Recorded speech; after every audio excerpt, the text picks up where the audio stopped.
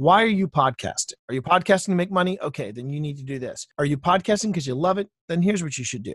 And I think the highest comment I received from anybody about podcasting for dummies is that they said the book is thorough. If you've got a question, you'll find the answer in there.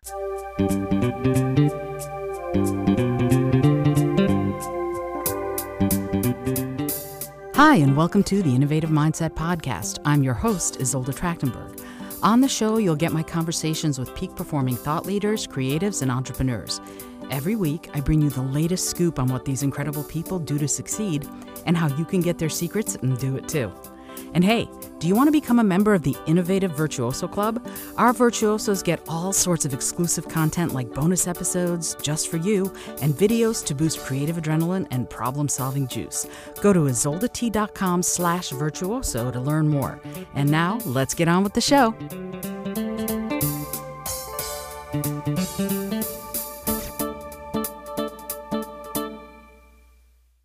Hello, hello, and welcome to the Innovative Mindset Podcast. My name is Isolde Trachtenberg, and I am so thrilled that you're here. And I'm super thrilled to have back today's guest. He was just on the show just a couple of months ago, but we talked, yes, almost four. We figured out just now we talked for almost four hours, and we still have so much more to cover.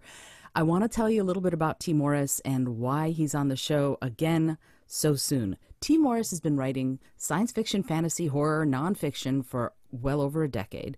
His first novel, Morevi, The Chronicles of Rafe and Askana, became the first novel to be podcast in its entirety.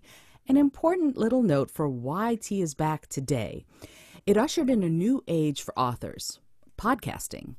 He went on with Evo Terra to write Podcasting for Dummies, another little hint of why Ray, uh, Rafe. I see I called you Rafe T because I remember you as Rafe yeah. from the Renaissance Festival. I hear you. I hear you. as well as the following editions alongside Chuck Tomasi. In 2011, T returned to fiction with the Ministry of Peculiar Occurrences series, penned with his wife, Pip Ballantine, who is fabulous. They're both fabulous, you know this. And somewhere in the middle of all this, T and Pip have released the second edition of Social Media for Writers. And it's not only been updated for new platforms that are available today, but they also delve deeply into crisis management for writers, which is a big thing all of us need to know a little bit more about crisis management. T and Pip also host the Shared Desk, and it's a podcast covering collaboration and other aspects of a writer's lifestyle, which you should be listening to regularly. And T enjoys a writer's life in Virginia alongside Pip, his daughter, and their three cats. Explore the works of T. Morris and his occasional geek grants at teemorris.com. That's T E E M O R R I S.com and I'm thrilled to welcome you to the show, T. Thank you so much for being here. Hard to believe that we it didn't feel like four hours. I and know. even listening to it, it did it didn't it just flew by. It just flew by. I know, and, I know. And as I was listening, and now as I was as I was listening, I'm like, yeah, I wouldn't want to cut any of this. This is this is this is a ball. This is a ball. I mean, yeah. Just, yeah, and, and, you know it's funny fun. because people people talk to me about that, and they were like, "You're going to put out a almost four hour episode," and I'm like, "There is no chaff. There is no chaff in this. There was it was all wheat. So yep. you know, yep. I why would I cut? Why would I cut the gold? There's no there's no I, reason I, to do that."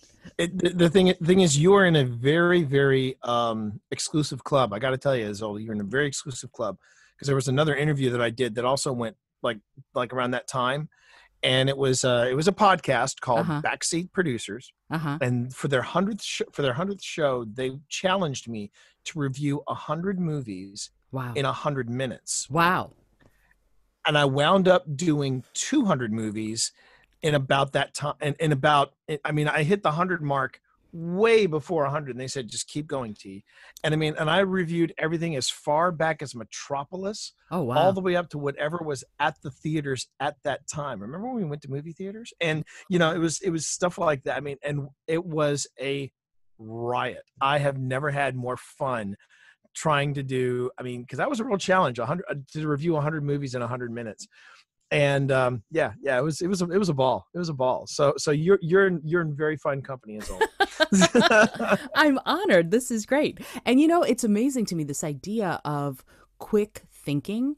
And you're you're you have one of the most facile minds I've ever come across. So I'm so grateful for for getting for getting that aspect of you uh, sort of in my sphere if you will and and this idea of thinking that quickly and figuring out the heart of the matter so easily and being able to then turn around and boom give the information back in a way that's palatable and interesting is amazing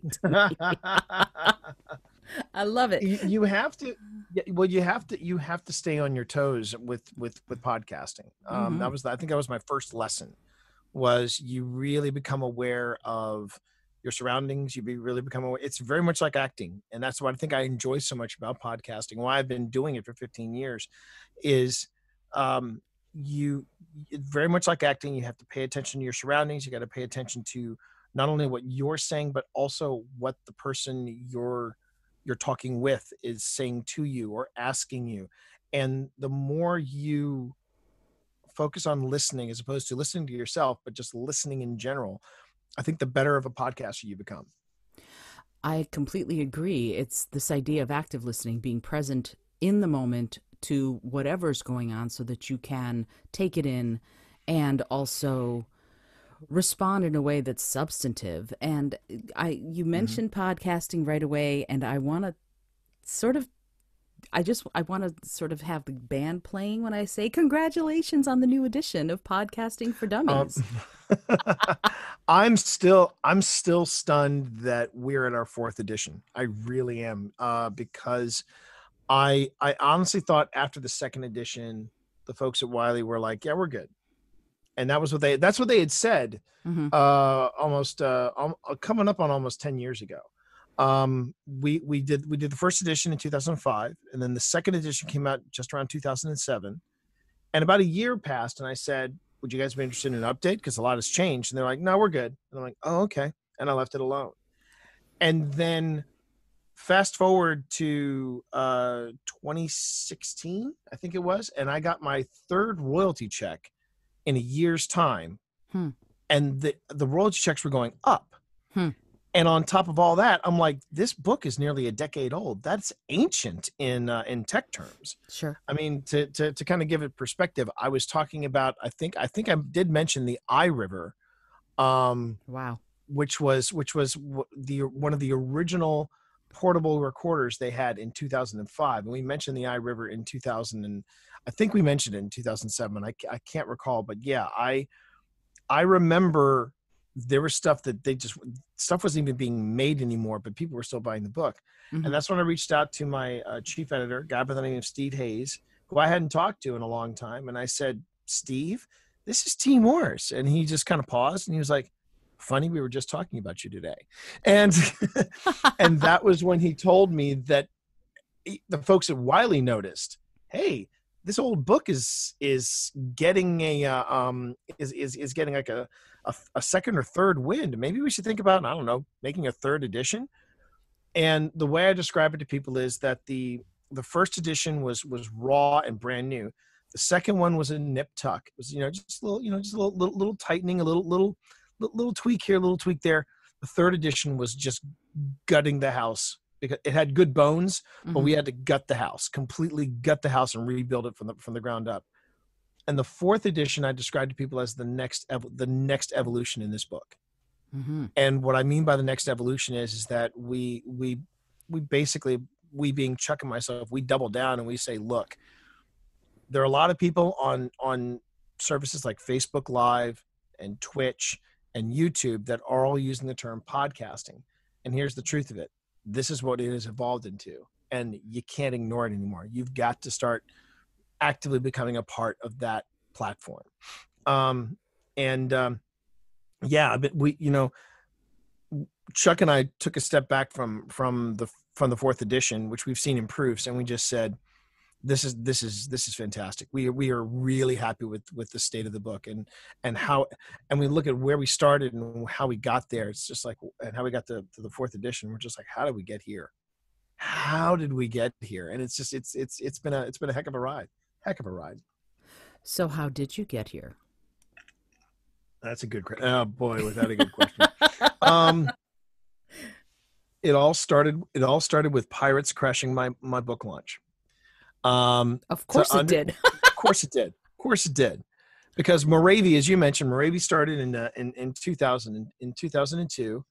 and I had pirates. Um, I had pirates. The, the the name of the group at the time they were the um, they were the um, um, they were a, a group of uh, they were the, the, the Sterling uh, sword players, if I remember correctly. But they were they were they were an offshoot of the Sterling Playmakers, and uh, Noble Blades. Thank you. That's what it was. The Noble Blades. That's who we were. And I pitched them the idea of of being pirates, crashing my, my book launch. They loved the idea, so we did this this this wild evening of sword fight and choreography and stuff like that. That all happened as pirates crashed my my first my, my first book signing, and it was a, it was a it was a blast, and people talked about it for years afterwards. Then I had the sequel to Morevi come out, or getting ready to come out, and my publisher said, "So what are you going to do to top that?" And I was like, "Well." I had an idea where I would uh, contact Evo Terra and his part, his then podcasting partner Michael R. Mennenga, and they had a uh, a variety show for science fiction authors called uh, Dragon Page Cover to Cover, and they would have interviews. They would have in in studio guests, all different types of things about the the, the craft of writing. Uh, it was science fiction, fantasy, and horror. And I approached them and I said, "How would you guys feel about me sending you a chapter a week and you put that in your feed and we we go on ahead and we just podcast a novel from beginning to end no one had ever done that before and we started doing it and immediately there was a response hmm. the the listeners just said where what, yes and where do we find more and a couple of the authors stepped forward and said we'd like to do this off of your off of your show too and in the middle of all of that um, my agent reached out to me and said, "Hey T, um, do you know anything about this thing called this new trend called podcasting?" And I said, "I know a thing or two about it." And she said, "Well, we we'd love to, we, you know, I'd love for you to get a pitch for this book." And I said, "Okay." So I got Evo involved because Evo knew more about the technical aspect of it than I did. And as we put we put the proposal together, sent it to the agent. She said, "Now you got to do it again." So we did it again. Now you got to do it again. We did it again. We've been at this for about a week. And she said, You need to follow the template that I sent you. And I said, What template? And she said, Oh, I forgot to send you the template. Hold on. She sends the template for the outline. I open it up, and at the top, that's when I see John Wiley and Sons for Dummies. Wow. That's how I found out it was for for Dummies book. and I'm reading this, and the phone rings. I didn't even have to look. I picked up the phone. I hit I hit uh, I hit accept, and I went, "No, Evo, I didn't know it was for the for Dummies people." And that night, we did a 24 hour turnaround, sent it, and that was how I that that was how the relationship started with the Dummies people. Wow. And umpteen books later, you're here yeah. at the fourth edition. Yeah. Wow. I mean, and and when I think about it, within within two years' time, I've written Twitch for Dummies, I've written Discord for Dummies, and I've got the fourth edition of Podcasting for Dummies which tells me that if, if you have any questions about content creation, I'm your guy. Uh, and completely. Yeah. And, and it, it has been a, uh, a fantastic relationship with Wiley, uh, with Wiley publishing with for Dummies people. I'm a, now as an author myself, I've had a weird relationship with it, with, with, with being a For Dummies author. It's got nothing to do with Wiley. They've been, they're awesome. Uh, there's a reason I've been working with Steve for 15 years. Uh, and it took a, it took us long enough, but I finally met him at Gen Con last year, hmm. and we just hung out, and it was just a, it was a it was a great day. It was it was a really good day, but um, with the um, with the with being a dummies author, I got a weird reception from uh, speaking events and from uh, people that were doing seminars and things like that. Uh, I actually I actually did a blog post about it um, called "Embracing the Dummy in Me," and this was after I just signed off on Discord for Dummies, and um, it was I, I, told some of the stories of, of, of how people reacted when they when they uh, when I would pitch to them at their different events. I'm a dummies author, and and they would they would just come out and say we're not interested. Uh, we you know we don't we don't want uh, we don't want people to think they're dummies at our at our event and i was like i'm sorry and it was it was just that sort of snide remark to the dummies books hmm. and to being branded as a dummies author. But here's the truth of it. And it took me a while to figure this out, but here's the truth of it. When it comes to how to books, no books are referenced more than the For Dummies books. Mm-hmm. The people that write for the Dummies books are um, computer analysts, they're physicists, they are they are they are are influential members of their community of their society of whatever it is. Mhm. there have been pulitzer winners there have been no you know there have been nobel nominees there have been th- there are a lot of people involved in the dummies in the in, in the dummies oeuvre and they're the number one seller of how-to books Mhm. and let's be honest no one's going to admit that they bought a dummies book if they had questions but you know if they were looking to figure out how to do something the first thing they're going to look up is whatever i need to know for dummies Mm-hmm. it's it, there's a reason why wiley publishing has been so successful with this and it has been i remember at one time there was a there was a series called the complete idiot's guide. Mhm. there were all these different tr- type of for dummies knockoffs. Dummies are, is the brand that is still standing and that says a lot about the integrity of of that series. And when i when i i finally it took me a long time. When i finally came around to that i was just like no i'm pretty i'm pretty proud being a dummies author. I'm pretty proud of it. And if somebody wants to turn down the um uh you know a a, a three timed published dummies author for the number one seller of how to books because they're afraid of they're afraid of some bad juju. You know people turned down the beatles and people rejected jk rowling's harry potter books. So you know what? It's okay. I'm i'm in good company. I'm in good company you know it's amazing to listen to you. It's a it's a weird uh insecurity it sounds like that people have about not wanting to be associated with dummies. To me it's it's it's an ignorant uh, it's an ignorant it's kind of an ign- it, it feels like it's born out of ignorance almost. I love learning new things and so being ignorant about something and going I need the basics. I need the breakdown of how to do this. And that's one of the things, you know, it's funny, before we started recording, we were talking about um, formatting and things like that. And even you even mentioned, you know, this idea of what is this? And oh, this is the For Dummies book. And you know that it's going to be laid out in a way that makes intuitive sense, not just practical Yeah. sense.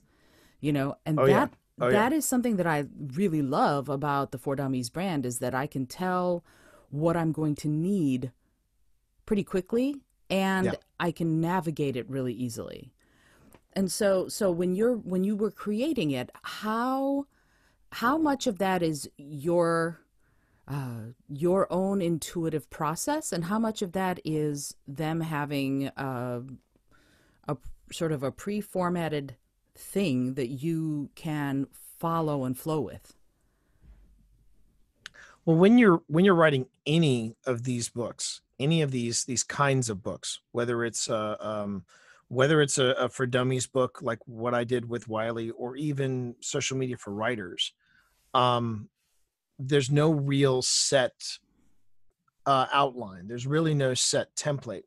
Maybe with the dummies people, yes, there is because you do have you- you're, you're like, okay, there are some conventions Mhm. that are in all dummies books that we use here there are the parts of there's parts there's part one there's part one two three four et cetera et cetera and they should all be grouped these these are the chapters that are grouped together to explain okay these are these are are, are the things that we are currently working on and all these chapters specifically deal with that like uh there's there's one part in podcasting for dummies called possibilities Hmm. for your show Mhm. And with it's in there we talk about in the fourth edition we talk about things like building your community getting sponsorship um and we and we, we we're a little more we, we try to be a little more forward thinking with getting sponsorship as opposed to using monetization Mhm. um because i hate that word I agree. but, uh, but I talk about I talk about sponsorship.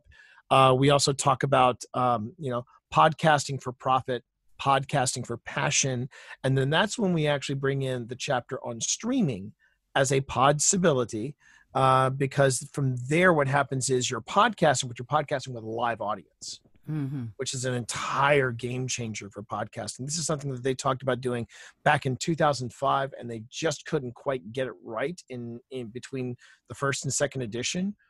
By the third edition, um, live audiences was was was like it was a nice idea, but you know no one really bought into it. But with Twitch and with the way streaming has evolved, now you can do podcasting with a live audience and um, and that's that's one of the conventions that you use the other convention that you need to use in a um, uh, in a dummies book is you have warnings you have tips you have technical stuff you know the the, the, the shout outs the little call outs uh, that Mhm. you get throughout the book but when it comes to actual structure of the book um, that is left up to the authors Mm-hmm. So with with uh, with Chuck Tomasi, who has also been podcasting since uh, since 2015, sorry, since 2005. In fact, I think Technorama started in 2004. But um, uh, Chuck has been podcasting just as long, if not longer, than me. And um, we started first by going, okay, here's here's here's what a podcast is. Here's how it's defined. Here's where you can find uh, podcasts. Here's how you subscribe to a podcast.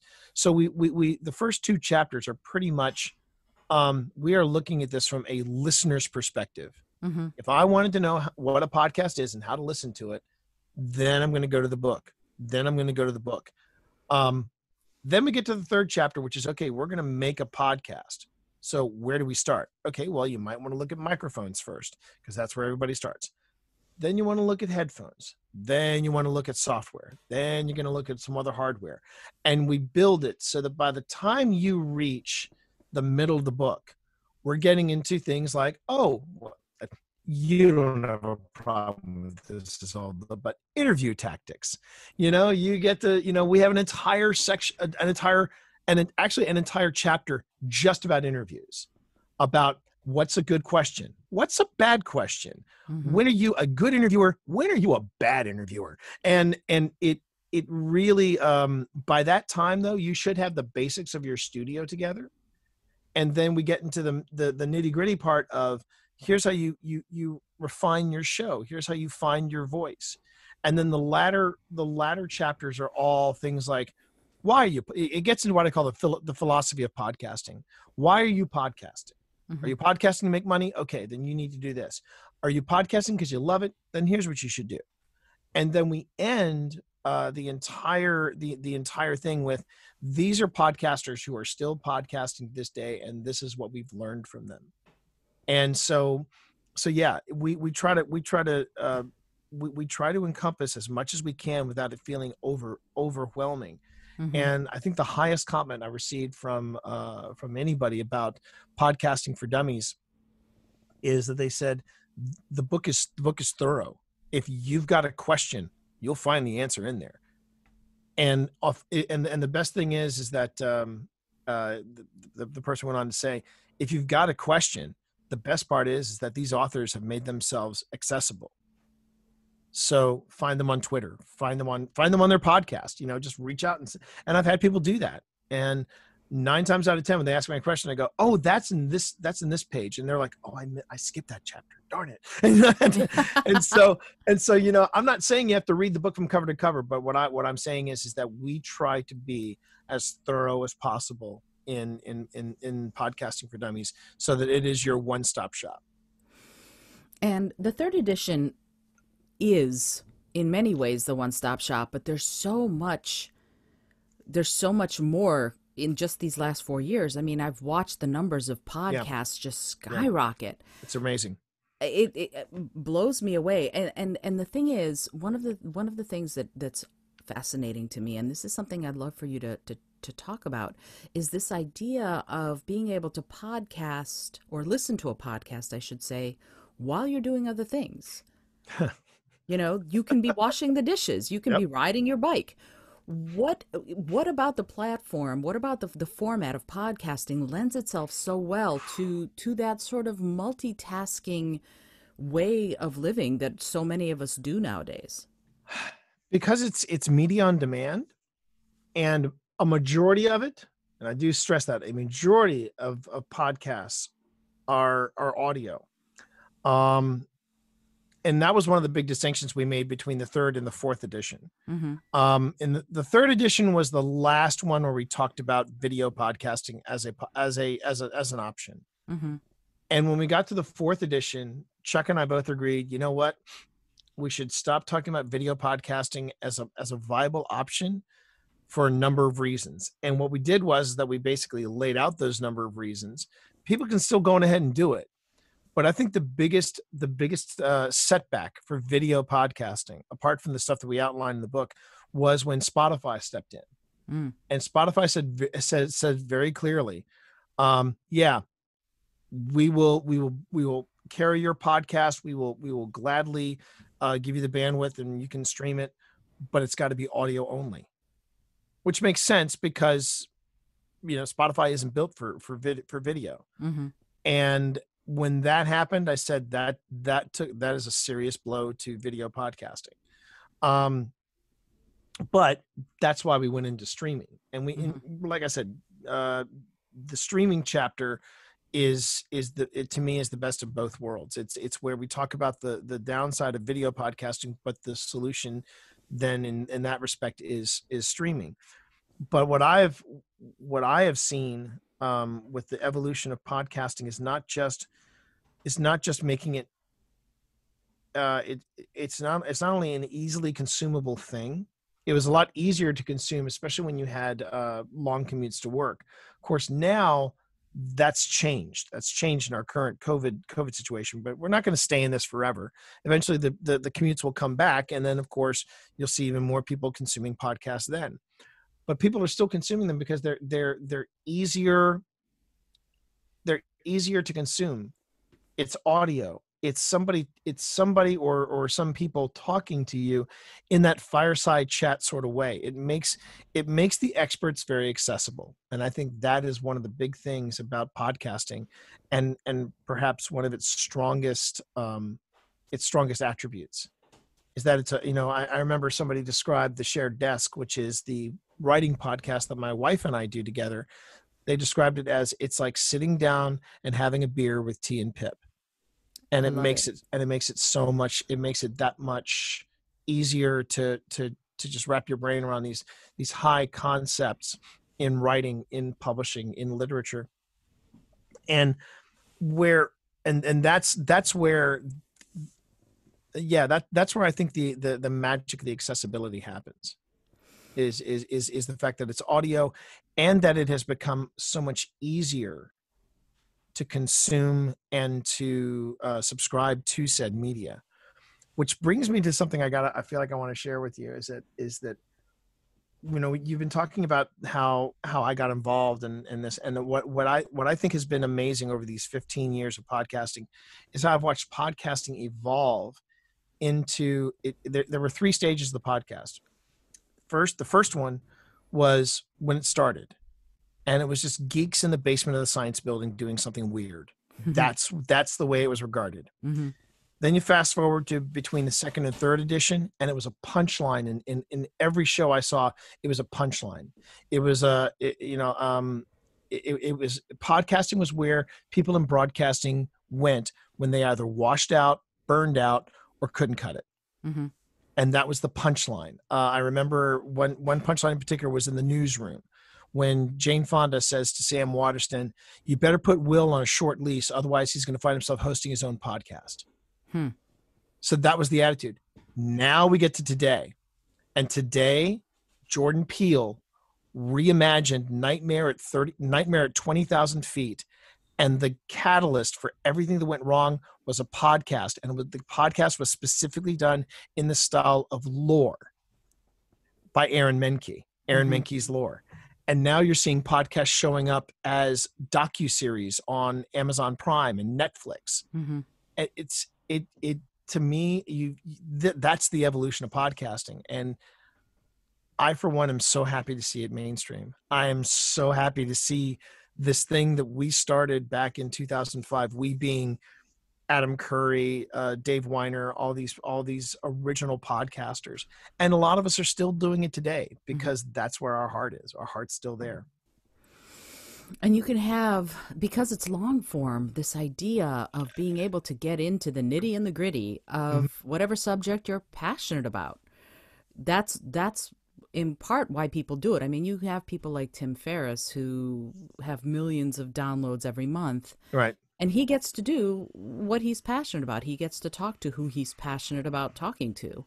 But Right. then there's also people like Dax Shepard with the Armchair Expert and Justin Long and various other people who are sort of celebrities in a way who are Yeah. going, you know what, this is something I want to do. And I keep seeing new ones pop up.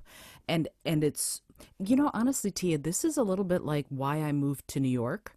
I moved to New York City. no, no, seriously, because anything you are interested in, you can find somebody doing it in New York City. Anything. I believe that. Oh yeah, yeah, yeah, yeah.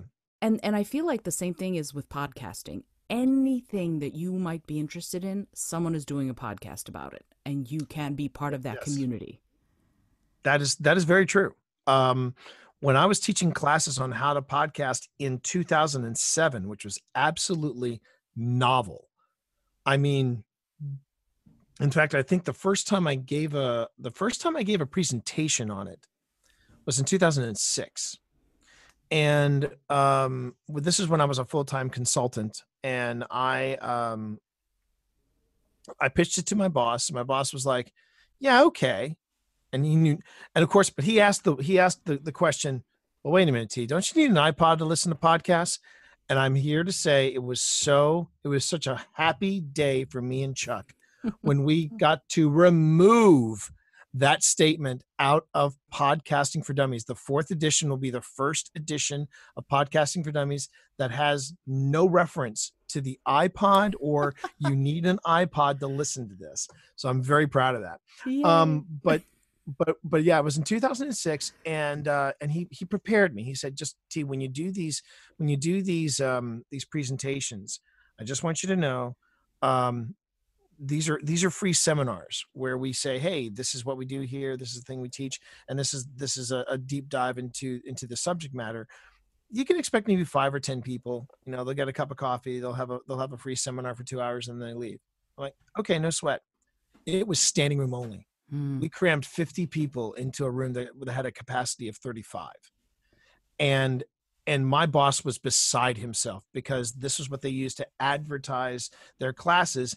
And that and that day i said we're going to be teaching classes here in podcasting. And we actually had I, I remember the demand for this class was so intense that um that they actually had to turn somebody away who was driving to our facility to say i am on my way do you have any open slots Hmm. and this was in 2006 Wow. um, and I bring this up to say that this was how hungry people were to know about podcasting, either from a business perspective or even from a personal perspective. One of my students actually started up a Rudolph Valentino podcast. Wow. And that I you can't get any more niche than that. And I remember when she wrote to me one day and said, "Hey T, I got my 200th listener." Yay. and and I'm like, if you would have told me that 200 people would have subscribed to a, a podcast specific to Rudolph Valentino, I would have said that's going to be a stretch. But she did it, and that's the thing. It's that it's that yes, you can do you can literally do a podcast on anything you want, and and there's pros and cons to that. The the pro of that is that yeah, you can find your community, you can find your tribe, you can find the people that you connect with but it's going to be such a niche fit that maybe you're not going to get the massive numbers that you'd like to see like you're not going to get the joe rogan experience or you know the michelle obama podcast or stuff like that but then on the other side of the spectrum if you want to do politics or if you want to do sports or if you want to do uh, video games yeah you could do that. Sure. It does not guarantee though that you are going to get the massive numbers either because it's always going to come back to well what what's what's different about your podcast versus the other podcasts that are out there. And and that's when i tell people if you get into this for numbers for for for for the fame for the fortune for the for the big for the big contracts from sponsors i got some bad news for you. You're not in it for the right reasons. If you want to do a podcast because quote unquote it's cool again that's not the right reason. You got to find something you are passionate about. Because the, the thing I will say that is consistent between all podcasts is when you hear a podcast with someone that's excited, that's genuinely excited to be there, versus the podcast where they're trying to phone that in, you're going to pick up on that straight away within the first five minutes. So it's when you find that passion that that's that's when you know you're ready to podcast. Yeah, the voice doesn't lie. You can tell. You can tell when mm-hmm. someone's like, "Oh, here we are." Yeah, yeah. okay. Just just a reference, just to reference our, our past interview. That was over three and a half hours, and not once did we ever sound bored. We were just like, we were just like, wait a minute. We, we really really should probably wrap this up just just for courtesy's sake because man we got stuff to do today but i could keep going and that's, that's why i'm back. And it was great because i kept saying things like oh we're gonna yeah i i know you ha-, and no we didn't we didn't stop. And i kept because i kept yeah and and and yet we had more i had more questions you had more answers and had, and we had plenty in the tank. Yeah we had plenty in the tank. Absolutely. That could have been a six hour seven hour episode. Uh, and what, that would have set a new record. Yeah you know what did you do yesterday? Oh i listened to t. Morris on on a, as old as podcast all day. Yeah 24 hours. It was we'll do that for charity. We'll do it we'll do a 24 hour interview yes, for charity. How about yes i would love it. That'd be great. Uh, okay so let, let me let me let me bring it back down to earth. Okay. Let's, let's talk about this this idea that you were talking about about being passionate about your subject matter. And aside from getting the fourth edition of the book and and really going from there what is the best advice you'd give to someone who is just starting out and decided that they want to start a podcast in this sea of podcasts? So the the first thing I would say is uh, map out ten shows. Map out ten shows. Try to sit down and come up come up with 10 shows and or, or 10 ideas for for for different episodes and if and and and if at all possible have a have a stopwatch going because depending on how many topics you can come up with within uh, those 10 topics if it takes you if it takes you um, 30 seconds to a minute then not only have you found your passion but you definitely have the uh, the chops to put a podcast together if it takes a little longer like say it takes you a minute per you know if it takes you 10 minutes or even 20 minutes you might want to rethink the direction of that podcast before you've even recorded a word um, I know that there's a popular sentiment of fire up the mics and go for it. It's great. But the problem is that you see a lot of people pod fade, which is a term for when either a show um, hits a low point or eventually just disappears. Hmm. And I've seen shows disappear within three episodes, three episodes and are done. And it's because they didn't do any any any pre planning, any show show prep. So if you can if you can fire off 10 topics on on, on a, uh, for a podcast then you're like i think i'm on a good on a good stretch. Um, some podcasts have content already built in. If you're doing an anthology podcast if you're doing a, a storytelling podcast and you've already got stuff written well then there's your show material so you don't have to worry about that. If you've got a really broad like like yourself Isolde if you've got a broad uh, network of people that you can reach out to and interview then again, you know that that adds to the to the to the repertoire of your show. Um, once you have those ten, once you have those ten episodes mapped out, then come up with a with a schedule. Come up with a with a with a tight little schedule. Okay, am I gonna am I gonna do this on a weekly basis or a biweekly basis? And I go into the pros and cons in the book about the about you know the the the joys of, of doing something weekly versus the joys of doing something biweekly versus versus doing something monthly um, you have to find a schedule that fits your your your life life work balance. Mm-hmm.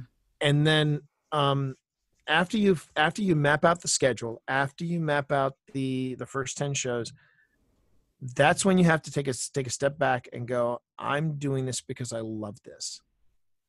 And um i would i would recommend staying as far away from analytics as possible.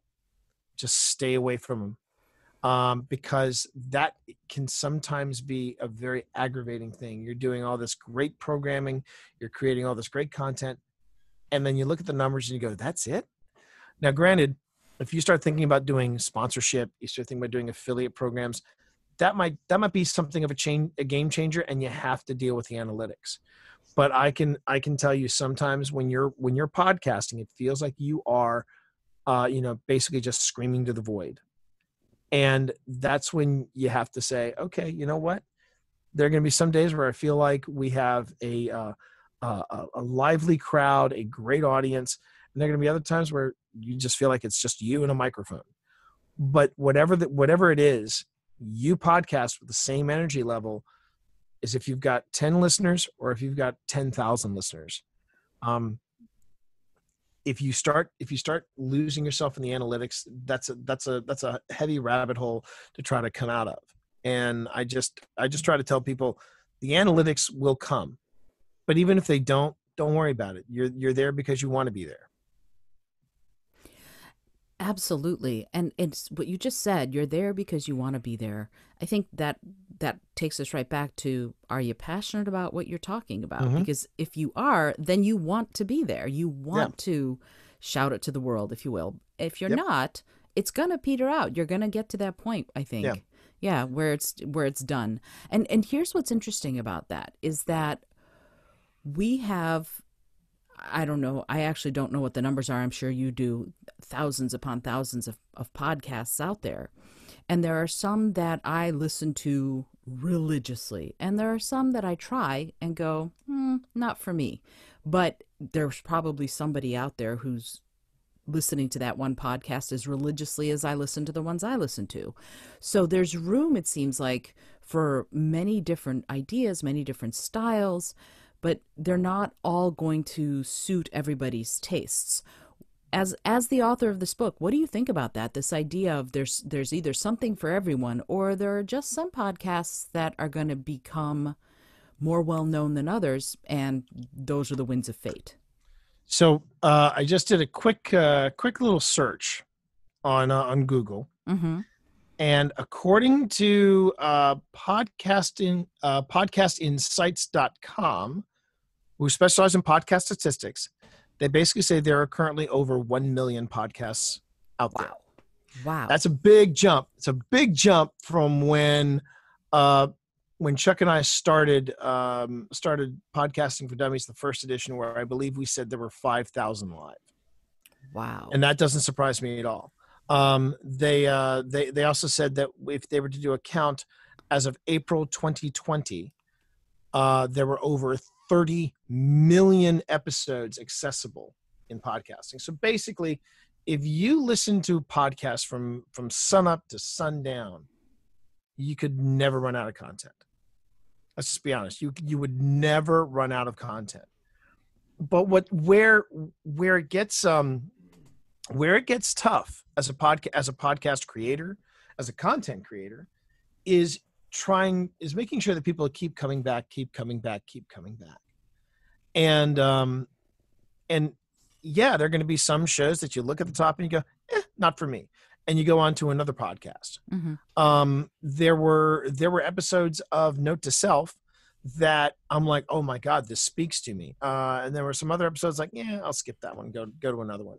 Um, there are uh, there are podcasts that that you you just have to you just have as a, as a as a podcast creator you have to say to yourself this is gonna this is gonna appeal to a certain a certain um certain section of of my podcast demographic and this one's gonna appeal to another section of my demographic. Um is there a magic bullet that keeps everybody coming back?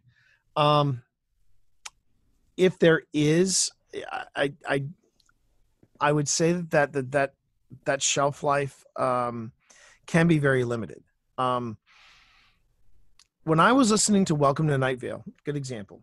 When I was listening to Welcome to Night Vale, uh, I I was fascinated by by season one. I was absolutely fascinated by season one.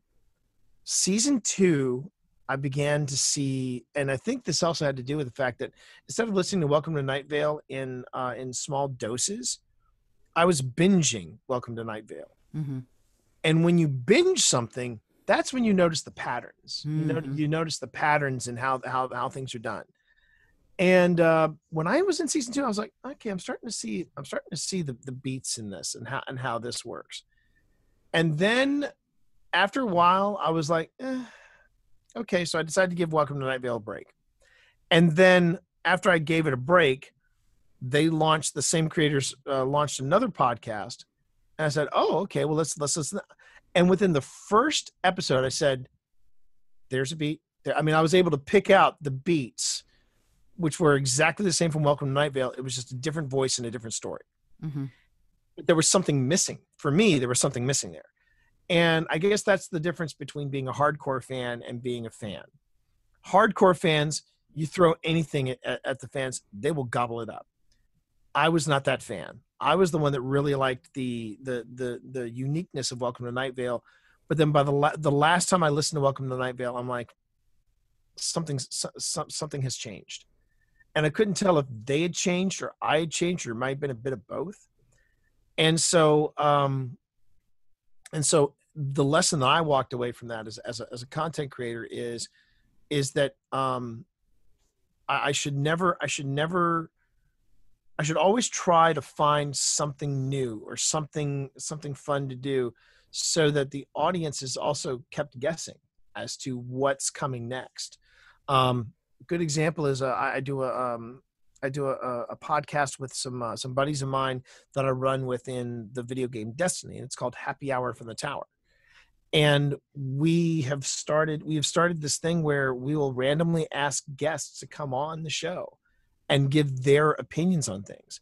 We've also done interviews. We've also talked about uh, play strategies, and we've also just talked about the game and issues around the game. Mm-hmm. So so we we we we do I do feel like we have a a rotating a rotating arsenal of content so that people know okay this will be an interview show they're interviewing a streamer they're interviewing voice talent oh now they're just talking about the game itself. They're getting nitty gritty into the game. Oh now we're talking about strats and uh, what what works here. So so um instead of instead of falling into a rut which i think some podcasts can it can happen to some podcasts there are other podcasts that try to reinvent themselves. But even when you're reinventing it, and, and again, it's in the book, um, I talk about how you don't want to dramatically reinvent your it would be like as if is although you were to take this podcast and go i need to mix things up and suddenly you turned it into a political talk show. Hmm. and you did that for three episodes and then on episode four of the reimagining of the creative mindset suddenly you turned it into a cooking class. Mm-hmm. You don't want to take such a such a wide turn or go on off such a weird tangent that you start losing your audience and and it's it's a hard it, again it's a hard thing to do. While podcasting as we say podcasting is easy but podcasting is also hard and this is this is one of the hard aspects of it. And that's eh, so fascinating because uh within within what you just said is something so interesting to me. This idea of pivoting and deciding what if I want to retool or, or course correct somehow? You're asking your fans to be diehard fans mm-hmm. you know, because you're asking them to, to come on the journey with you. Whether or not you do it on purpose, like I renamed this podcast from you called it the creative mindset and it actually got renamed this summer the to the innovative mindset podcast. Right. But and you called it the Creative Mindset podcast because it sticks. And it's so interesting to me this idea that who are we? When we're listening, what is our role in the relationship to the podcaster? If I'm a big fan, and I'm a big fan of yours, so whatever you do, I'm I'm there, right? but right. but but if I'm if I'm just a fan and you decide to go somewhere that I can't follow, then what does that do to our relationship as content creator and content consumer? And how do we, as content creators, keep those lines of communication open? What are your thoughts on that? Well, well, that's that's also, ironically, it ties back to happy hour. Um, the, the the the guys who who are the excuse me the people the people behind the video game Destiny um, they make an absolutely stunning game, in my opinion. It is artistically beautiful. It is uh, mechanically fun to play. It there's all these great activities they have, The only downside of Destiny is they try to make a game that fit that's one size fits all. They want to be as many games want to be. They want to be the next World of Warcraft, or they want to be the next Fall Guys, or they want to be the next um, the next Among Us. They want to be the next big thing, but they want to be the next big thing that's got legs, and you want to keep coming back and keep playing it and keep playing it and keep playing it. And the truth of the matter is, one size does not fit all. Mm-hmm. You can say that about video games. You can definitely say that about podcasting. You can say that about content creation. Um, I know that there are people that will go on the journey with me when I launch Happy Hour from the Tower, right?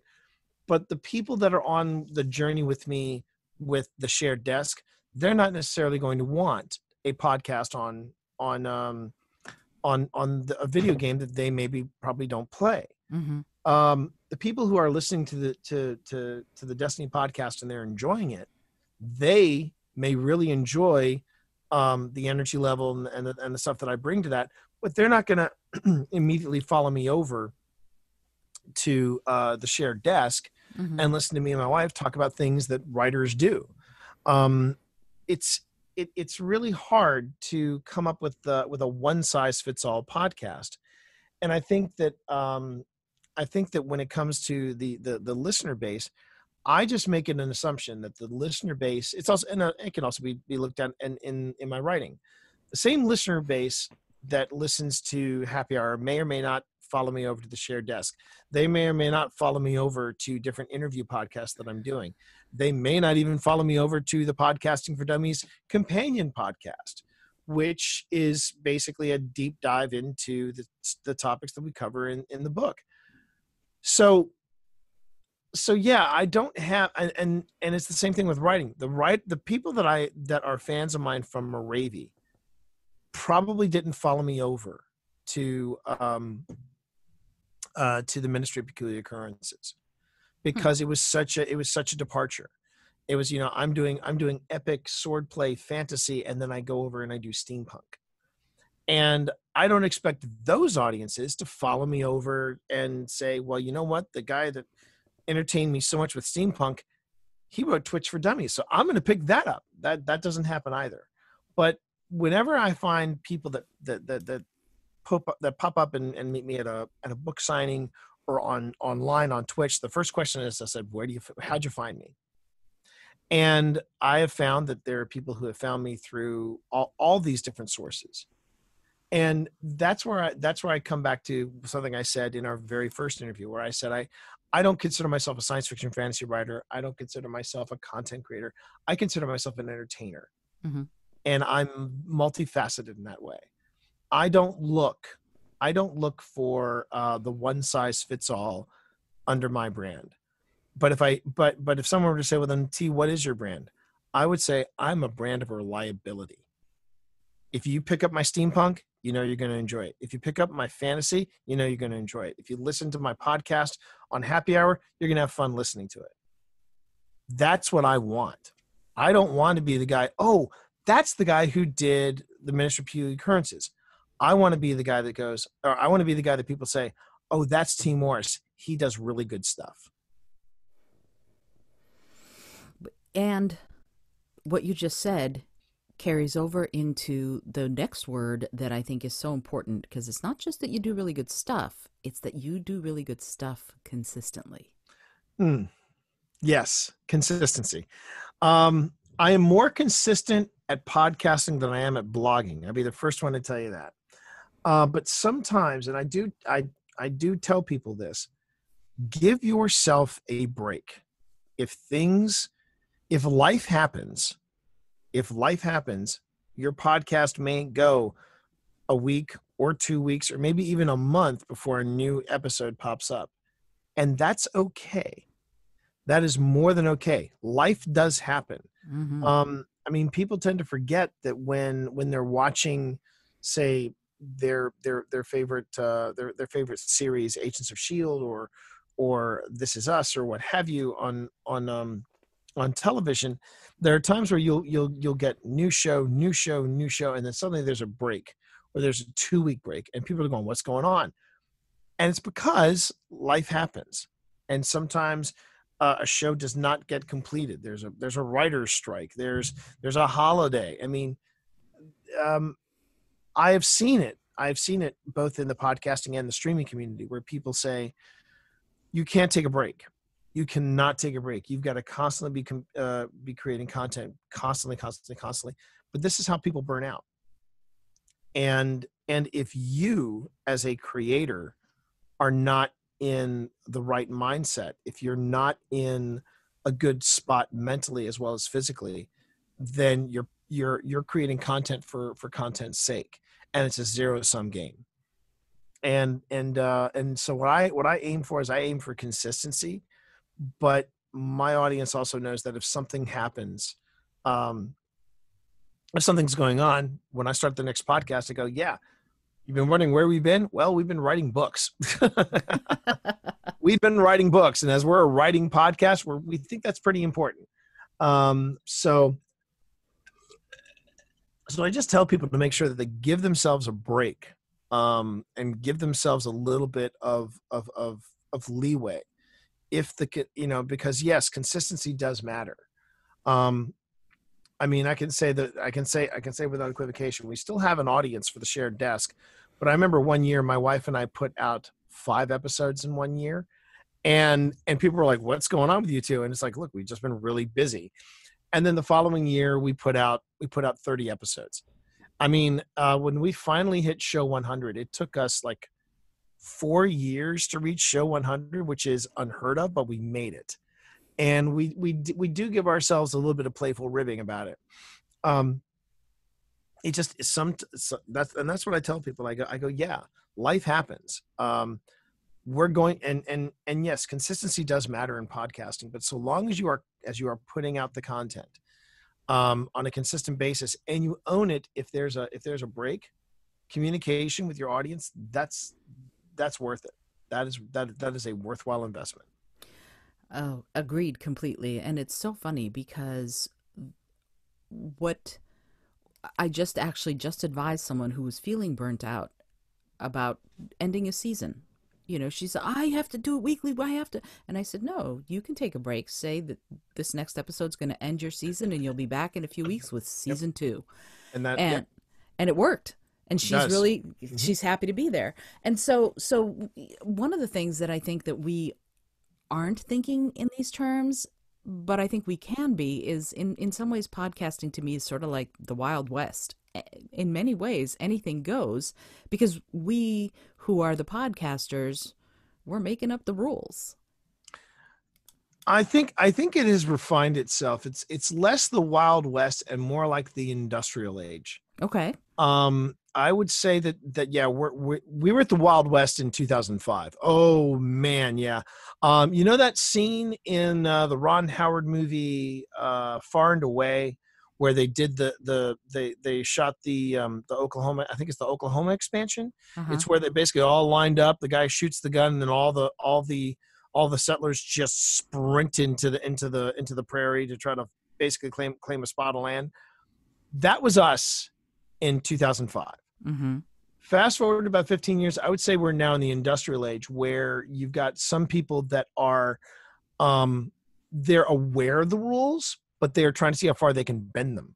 Mm, okay. And and um and this is before the days of you know this is before the days of uh, of the you know Better Business Bureau and and the EPA and the FCC. You know, I mean, as I said before, the FCC, the FCC um, has zero zero skin in the game when it comes to podcasts.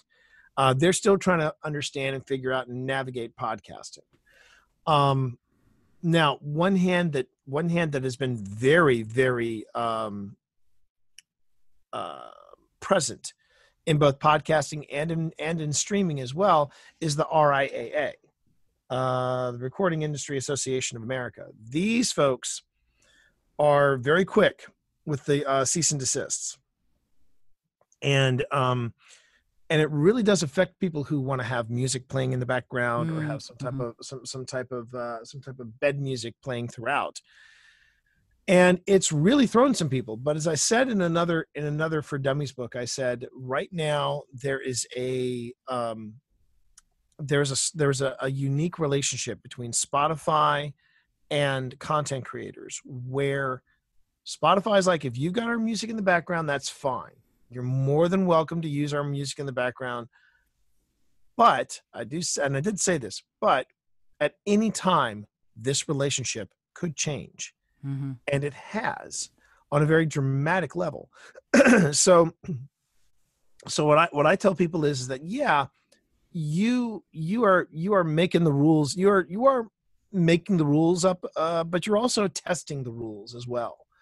And the way I tell it to people is treat your podcast as if you would treat um, going live on radio or going live on um, I mean, I'm trying very hard to clean up some of the uh, some of the more colorful words that I've used in my video gaming streams, which sometimes slip out into into podcasting.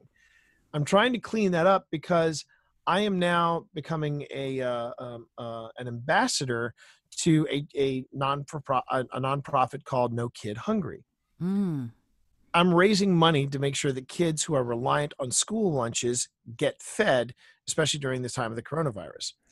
So if I'm dropping the occasional f bomb in my stream, maybe that's not such a smart move when my when my uh, uh, when I'm trying to get in good with this group, No Kid Hungry. So yeah, but that's what I'm saying is that is that I'm trying to treat my stream and my podcast just like as if I was on mainstream terrestrial radio where I can go on ahead and uh, and follow the rules as dictated by the FCC. Um, it also makes you a better streamer and it makes you a better podcaster. It makes you a better content creator because now you have guidelines that you can follow. It's great being a trailblazer. Don't get me wrong. I loved being a trailblazer back in 2005, but I also ran into those trailblazers that not only made up the rules as they went, they blatantly ignored the rules moving forward. Case in point, I was illegally recorded once for a podcast. What? Um, oh yeah. Oh yeah. This was a very popular podcast and they um they were trying to uh get get into a into a heated exchange with me and I found out when the when their podcast aired, they were recording the whole thing. The good news is I took the high road and I I I didn't fall for the bait. But they were doing that. I've also seen uh interview podcasts take a terrible turn because they go, well, the rules don't apply to us, so we can ask whatever we want.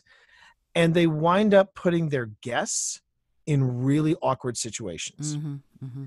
And then you've got people that think it'd be funny to do something for their podcast that's that's outrageous or ridiculous or over the top.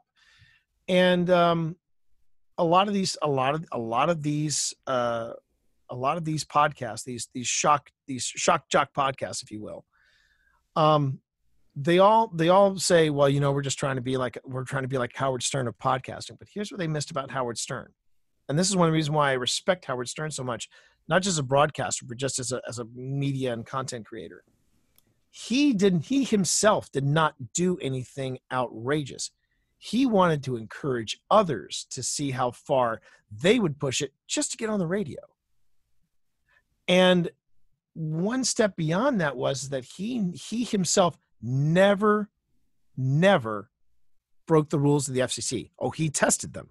He definitely tested them, but he never broke the rules versus other Howard Stern knockoffs who were all trying to be just as quote unquote outrageous as he was, but some of them got in trouble with the law mm-hmm. because they they themselves were actively involved in it, and that's where I'm saying that's the difference.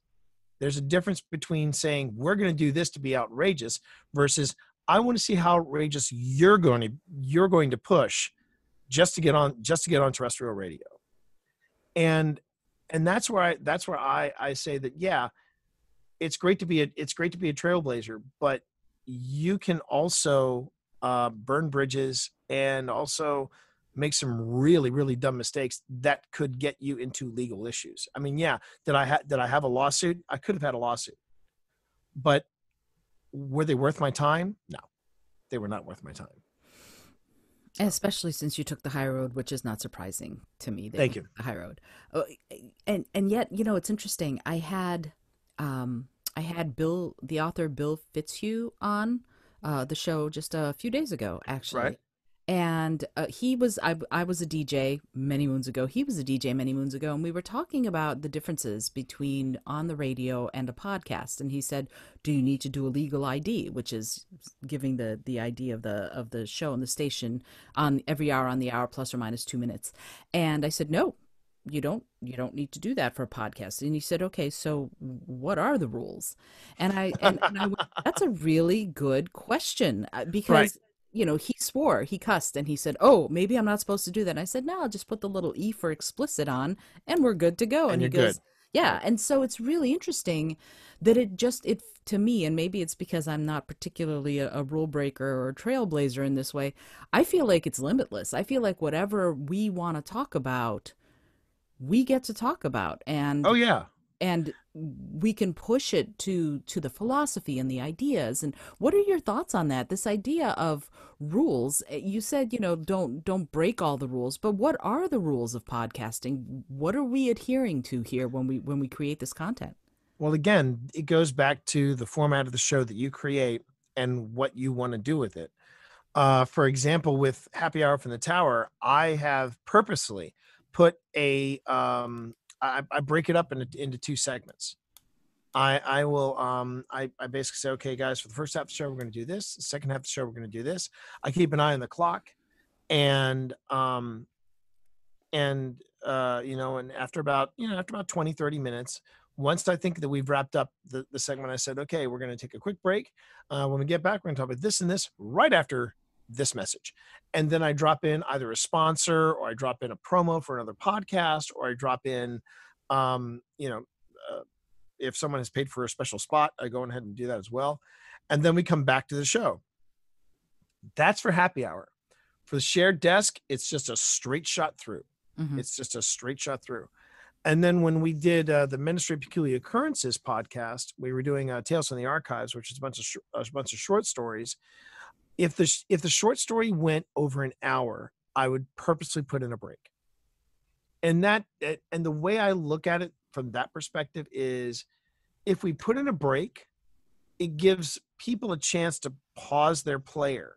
Uh, you know, where, where it's, it's like, okay, we're, we're, we're physically taking a break here.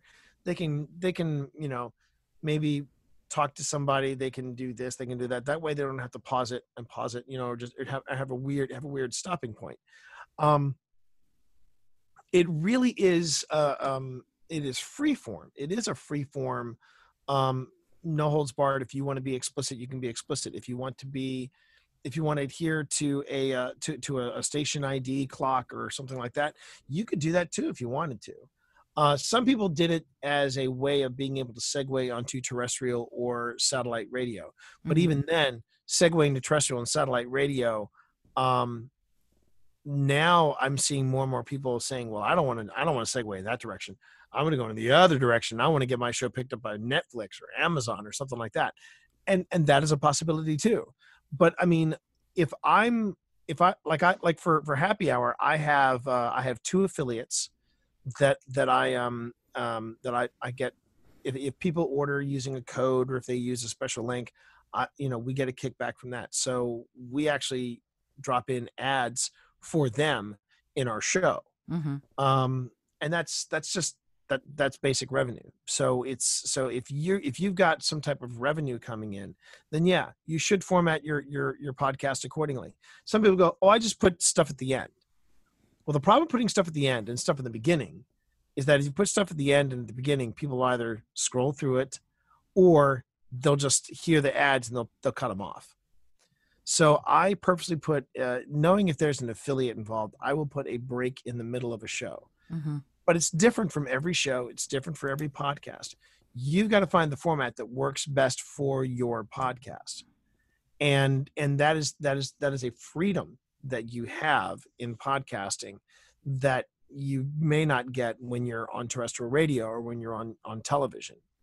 And it's um it's something I think YouTube needs to learn because I tell you, YouTube has been um, they've been the worst at it. They will throw in random random uh, ads and there's only a minute left on my video and i'm just Right. like guys come on and it's I, I really think that that again it comes back to the the the, the problems of freeform entertainment like this freeform infotainment if you will because we're not adhering to a clock the algorithms that that that uh, that ads machines say oh we're going to throw an ad in here can really be a bad place to throw in an ad. You know what i mean? Mm-hmm. so so yeah you just have to because i tried doing um i tried doing podcasts where i actually did the the the zero the, the 15 the 30 and the 45 oh and i was like oh this is why i got our radio. Yeah.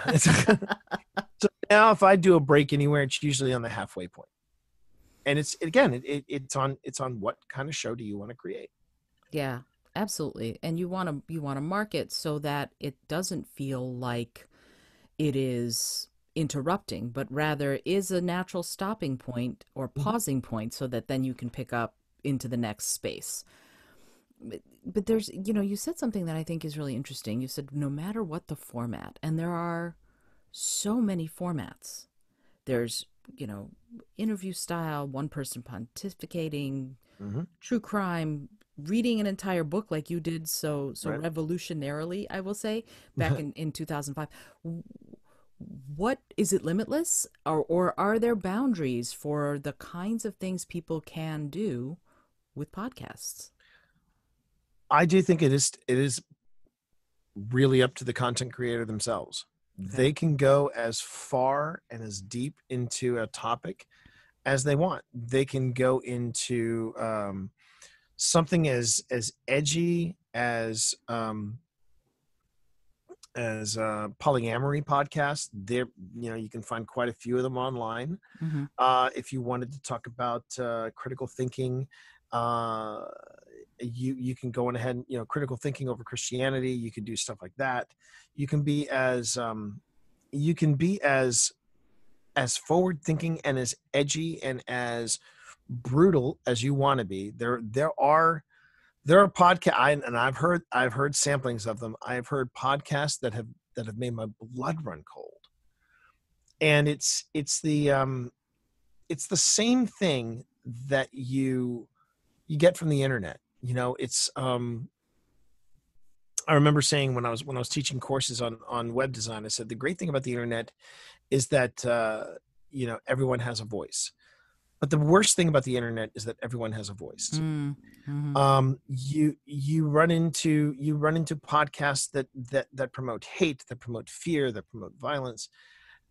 But on the same side you also have uh you also have um uh, podcasts that are um the exact the just the opposite extreme you know um i remember listening to a podcast i can't even remember the i think i blocked the the, the title of the podcast out but it was two um self uh self-admitted um blonde princesses oh uh, in, in la mm-hmm. and they were talking about how great their lives were and after five minutes i just said i really need to have have this noise turned off. Mm-hmm. and it was it was i found it just as offensive as some of the hate uh, the some of the hate podcasts that someone challenged me to listen to. Um you know it but it, but the thing is it is limitless. And it's but it comes with just as much responsibility as as as anything else you do in content creation.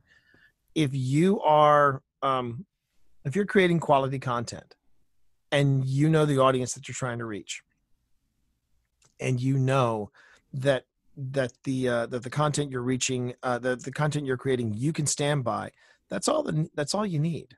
That is all you need to have a successful podcast. Um and i know i have i have uh, for all the for all the bad stuff that i've heard uh in in podcasting i can rattle off 10 or 20 podcasts uh, this one included As as as podcasts that I always go back to because I genuinely enjoy listening to these podcasts. And it's it is really heartbreaking when you lose those kind of podcasts. Uh, Case in point, there was a podcast I loved listening to. Not necessarily for the um not necessarily because it was it was so riveting or it was so or, or it was the it was the the edginess of the content it was just the the concept behind it it was it was two it was it was it was two um two psychologists and they were both young psychologists they were like in their late 20s maybe early 30s and they were both avid video gamers so they had a they had a podcast called headshots which was the intersection of psychology and video gaming. Hmm. And I could not get enough of this podcast. And when they basically said, Yeah, we're closing our doors, it broke my heart because I got to look at video games in such a different way. Um, there was a uh, there was a there was one one video game in particular that they talked about where the um the game had gone into such a deep analysis and such a deep dive of psychosis and post traumatic stress disorder and trauma and uh, schizophrenia that at the very beginning of every time you played the game, it would give you a warning and a website to visit if you started to feel off. Mm. And the two psychologists said, Well, when I first saw this, I was like, okay, this is hype. This they're just hyping it. They're just trying to get you. And he said, and about 10 minutes in, I'm like, oh, okay, this is this is going to hurt. And at the very end of their conversation, I remember they said, and these are two psychologists said, I loved this game, but I would never recommend it to any of my friends. And and it was just so fascinating listening to them dissect that. And I love that because I'm like, you could not find this anywhere else but a podcast and that's those the those that's what I gravitate towards. I gravitate towards the the podcasts that not only entertain me, uh, but make me think. And if they do both, even better. Absolutely, that's that's my favorite kind of podcast to listen to as well, and it it sparks curiosity when I get to hear a podcast like that that makes me go, mm-hmm. oh, and now I want to know this, and now I want to know that. Right. Right that's that's the ultimate for me in podcast listening. And and and podcast creation and it's so fascinating to get to talk to you about this because you're such you're such also an avid gamer. I went to uh, a virtual conference this weekend for voice actors and uh, spent the uh, my my brain is full today because I spent the weekend with a bunch of voice acting professionals learning all about it. And here's what's interesting. First, there was an entire session dedicated to podcasting in this oh, wow. in this conference. And second, there was also another session dedicated to voice acting for video games. So so having you on the show today is just the perfect the perfect uh, jumping off point and also the punctuation mark to my weekend. But but this idea of creatives creating content in podcast form and also in video game form for everyone else to hear because it's a it's a voice medium this idea here of how do we marry the two? And and it sounds to me like so much of what you're doing with streaming does exactly that. It does. It um because the thing is is that it, you know by definition podcasting is um is the delivery of media through an RSS feed. And uh, not to get too technical, but basically RSS is the script language. Uh, it's a markup language, and it's a, it's a language that helps that helps blogs go. And um, if you've got a blog, you have an RSS feed, and with the proper plugin or the proper adjustment, uh, you can make that that RSS feed podcast ready. But then streaming came along, and people started saying, "Well, I'm going to do a podcast," but they were doing it on the stream, and uh, there was a real contention for a while uh, about how if you're streaming but you don't have an RSS feed and you don't have a separate a separate file for that that's being distributed by RSS, then you are not podcasting. Hmm. You're just you're basically just just just slap. And a lot of people did this in the early days. If they didn't want to be bothered with uh, with RSS feeds or blogs, what they would do is they would basically just get a little image that says podcast and they'd put it next to whatever media they'd upload to their website. Again, that's not a podcast. But what really changed things and what was really the marriage of streaming and podcasting was when, okay, so we say we're doing a podcast, but it is being distributed. People aren't going to your website they're going to their apps they're going to twitter they're go- i'm sorry they're going to they're they're going to um to twitch they're going to they're, they're going to youtube. They're, they're seeing it happen live. Hmm and so you know when the fourth edition was rolling out i'm like i really got to look at this. And this is right off the you know this is coming off the heels of doing of doing um twitch for dummies. And and i started to see the marriage between the two and i was like okay there here here's the here's the midpoint that we're that we're finding here. This is what podcasting has evolved into and i think that's also part of the success that i've had with podcasting is that is that is that i have i feel like i have evolved with the technology. I'm no longer saying this is a podcast and and no no one nothing else counts. You Mhm. can't say that anymore especially with the way um, spotify has stepped in the way streaming as a technology has stepped in and helped distribute podcasts without an rss uh, feed. It's it's really fascinating. Now we still are we still argue that yes when we talk about podcasting here is the official definition of it. Boom done.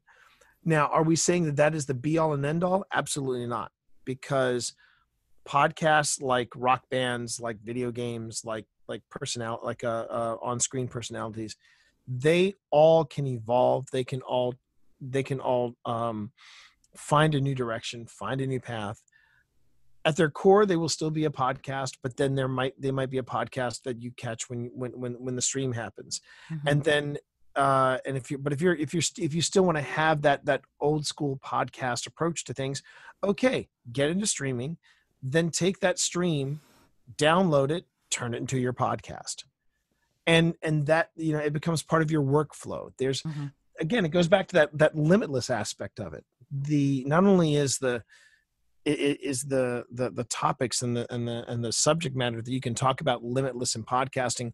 So is the way now we have many different ways of getting our of distributing our our um our media from from one point to a whole bunch of others. And that's the beautiful thing about about podcasting. It is it it podcasting as a technology is limitless. And i'm very very proud to be a part of this uh, and i've been very very proud to be part of this book since the beginning. Uh, and it's it's so wonderful to hear you say that because it's I mean I have the third edition so I'm gonna get the fourth edition now but well you're going to be in it so there there's that too so that that's so cool and exciting. Well, there's something that you just said that I think that I really want to that I want to focus in on and and this is idea the idea of sharing aspects of what you're doing right? You can do it through the stream you can do it uh, change it into a video and put it up on YouTube which I do with with this show every episode gets transferred into an into a video and gets uploaded to YouTube, things like that. But creatives are also do using podcasts to share aspects of their work. Right. So so if Mhm. you can do it with writing, you can you can do it. You can you can have an audio podcast talking about paintings or your paintings and it still works. You know, the the voice actors that I was with this whole weekend, a lot of them hire themselves out to to voice podcasts, to do Right. the intros and outros, things like that. So there there's sort of a an intersection of creativity and content creation here that is different than than we might have thought possible back in 2005. What are your thoughts on that? so that that honestly does not surprise me um i think that uh that yeah there there is a um there is an intersection of of all these different uh creative outlets that you that you can you you've you're seeing evolve in podcasting and in and in streaming media and thing and things like that um one of the things that i think that hasn't changed though is um there are um there are a lot of people that that refuse to podcast or they hate podcasting because they quote unquote don't like the sound of their own voice Mm.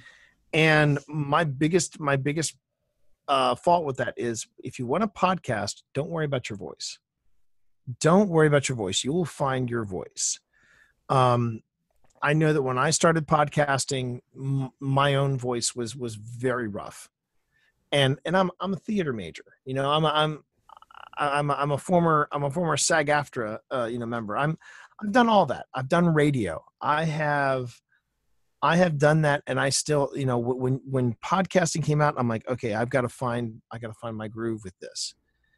and and then when when the, then when I started streaming, I had to find my groove in streaming as well. Um, I think there is a I think there is a lot that you can do where you where you intersect with um with different mediums and different and, and different approaches. And I and I also think there's even a demand if if voice actors were to actually do podcasts about the voice acting industry, that would be something that people would listen to, especially for people who want to break into dubbing animes for for American audiences or mm. being a being a, a voiceover uh, a voiceover talent in in in um uh in in video games and the mm-hmm. best part about what i've noticed at least with, with, at least with happy hour from the tower is how accessible a lot of these voice actors make themselves mm-hmm. um we've had several of the voice actors from destiny on happy hour from the tower and those are some of our favorite interviews because they are so much fun and they don't uh they they don't pull any punches and they're just they're just they're they're happy to be there.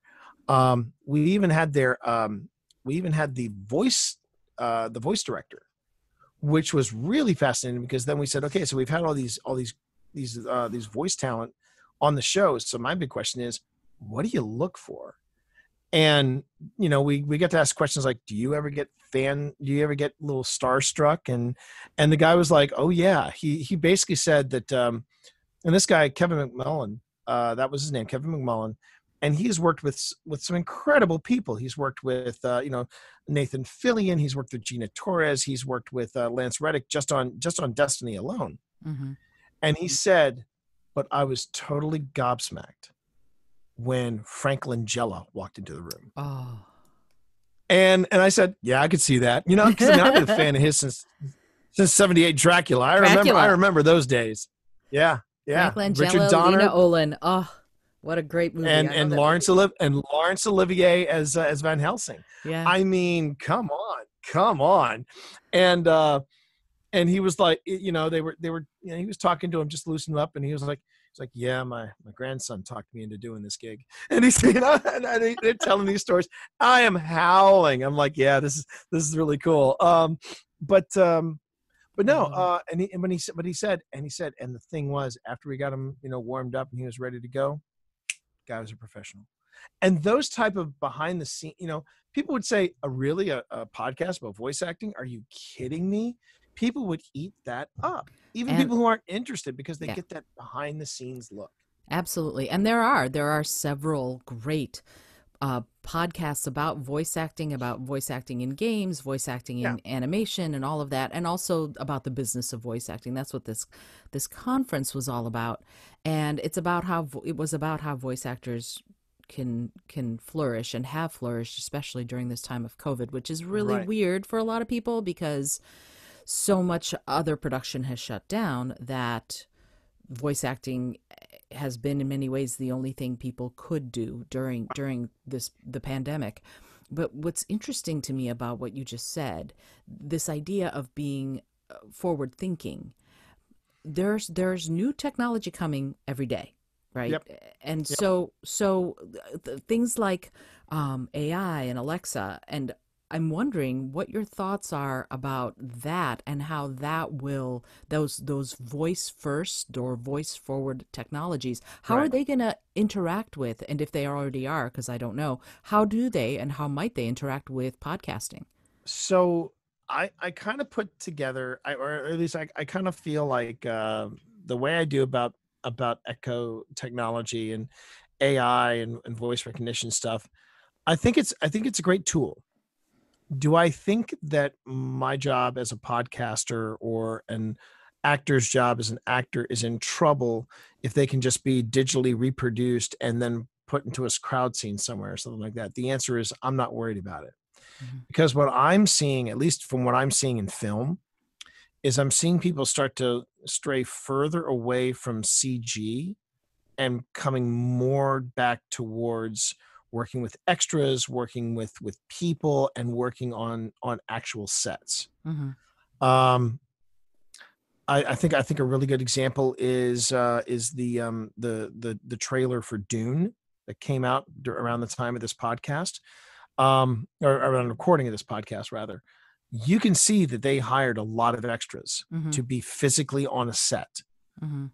You can also see where, yeah, there might be some computer computer imagery, but now, unlike when the when the technology was first introduced, oh wow, we can just put virtual people in in the stands. But now you look at those at those uh, the those um, those things and you go, yeah, those those people are computerized Right. because they're not moving right, you know. Mhm. And it's the same with voice. Um, it's real hard. It is real hard, even as good as as Alexa is. Um, it's real hard to reproduce that voice. Um, it's real hard to produce the the the human nuances of voice, and I think that if uh, if I, I think that that where AI comes into play is that AI is making these podcasts more accessible. I Mhm. mean, if I wanted to, I could I could basically have my my my podcast because they're now available on Spotify. I can have I can now consume my my podcast now through Spotify. Mhm. Um, or sorry, through uh, through through a, uh, a virtual assistant, through Mm. something like Alexa or something Mhm. like that. Mhm. And I I think that's great. Do I think do I think that AI voice talent will will replace uh, will replace actors? No, I don't. I just don't because they tried doing that with actors and they tried they've even gone so far as to try and and I I find the the technology a little unsettling but um uh they've tried to recreate and uh yeah they've tried to recreate actors when they were younger Mhm. um, like um, I, I can tell you where it worked and where it didn't work. Where it worked was in, um, it was in uh, um, Ant Man, the original Ant Man, Mm. and Michael Douglas comes in, Mhm. and it's supposed to be in the '80s, and it looked like Michael Douglas. It looked like Michael Douglas right off the set of *Romancing the Stone*, Mhm. Mhm. and then you know the rest of the movie is set in present day, and of course it's regular Michael Douglas. But man, the CG they did on Michael Douglas to make him look younger was phenomenal. Mhm. Mhm. and in the same vein while they had while they made him look younger they had to age up um, they had to age up Hayley Atwell and um, they uh, they obviously used they, they they were actually using prosthetics with her Mhm. and that's the point they digitally did it with Michael Douglas they used traditional images the, tr- traditional stuff with Hayley Atwell and it worked brilliantly Mhm. where it didn't work rogue one when you see the images of peter cushing as Mm. grand moff tarkin the- my brain wasn't buying it my Right. brain was just like no that's not that's not him Right. and they they could have found an actor and i could have even named the actor they could have they could have found that could have been a stand-in and they could have just they could just put him in there and it would have been fine but they tried to do this this computer technology where it looked like peter cushing from the 70s and it looked off it Yeah. just looked weird and that's why i tell that's why i I, I am the and I'm a I'm a I'm a tech nerd. I love gadgets. I mean, we've got we've got three of these Alexas uh, throughout the house. We love them, but uh, I'm sorry, four. We got four of them. Um, but um, but I also think that the um, that there are limitations. There are limitations and there- because yeah, it, we we still have a ways to go if, we, if if we're in trouble that way. You know what I mean? A- absolutely. And Carrie Fisher, I believe, or she was also digitized. She was digitized at the very Oh, end. and And and her- it was awful. It was horrifying. I, I, just because there was zero life in in her. Her face looked flat. Yeah. I it- remember I remember going, I don't remember Carrie Fisher looking that horse face. I mean her, her it looked like her face was stretched and flat. And I'm like, that's weird. And yeah. yeah, yeah. I It still was- love Rogue One. Don't get me wrong. I love Rogue One, but those those two bits were a little that was a little much for me to take. A Yeah. much. Yeah. It it was Rogue One is great to get off topic a little bit. But Rogue One is great, except for it was a little hard for me watching the movie knowing that everyone was going to die. yeah. because yeah. because if they hadn't died, they'd be they'd have been the heroes in A New Hope, you know. Right. so, right. so- Exactly. So, you knew going in that they were all going to die, and that this was, was gonna that was yeah, this hard. was gonna end badly. Yeah, I Right. Yeah, but it was But, a, a, a great movie. I agree. Now it's funny you should bring up tangents though, because that's the thing. It's that's another one one of, one of the great things about about podcasting that I that I tend to tell people is that tangents uh, tend to be synonymous with podcasts. You know that that you will be talking on one on one subject, and then suddenly you go off on a tangent. And I and I like to tell people if you're going to go off on a tangent, go for it. Be 100% committed to that tangent. Just make sure to watch the time and bring it back because if you don't bring it back, that's when you start losing people. Tangents are cool in podcasting so long as you keep a short keep them on a short leash and that's that's that was that was that was seamless well done isolde well i learned from the best so there, there you are. go podcasting for dummies third edition uh Ding. Is, has been my that's right has been my go-to uh so so uh, speaking of that speaking of the fourth edition which is out today yay mm-hmm. um what has happened to podcasting that has surprised you or inspired you the most throughout your podcasting career and trajectory? What has been the most surprising and inspiring thing to you? Oh, wow. Um,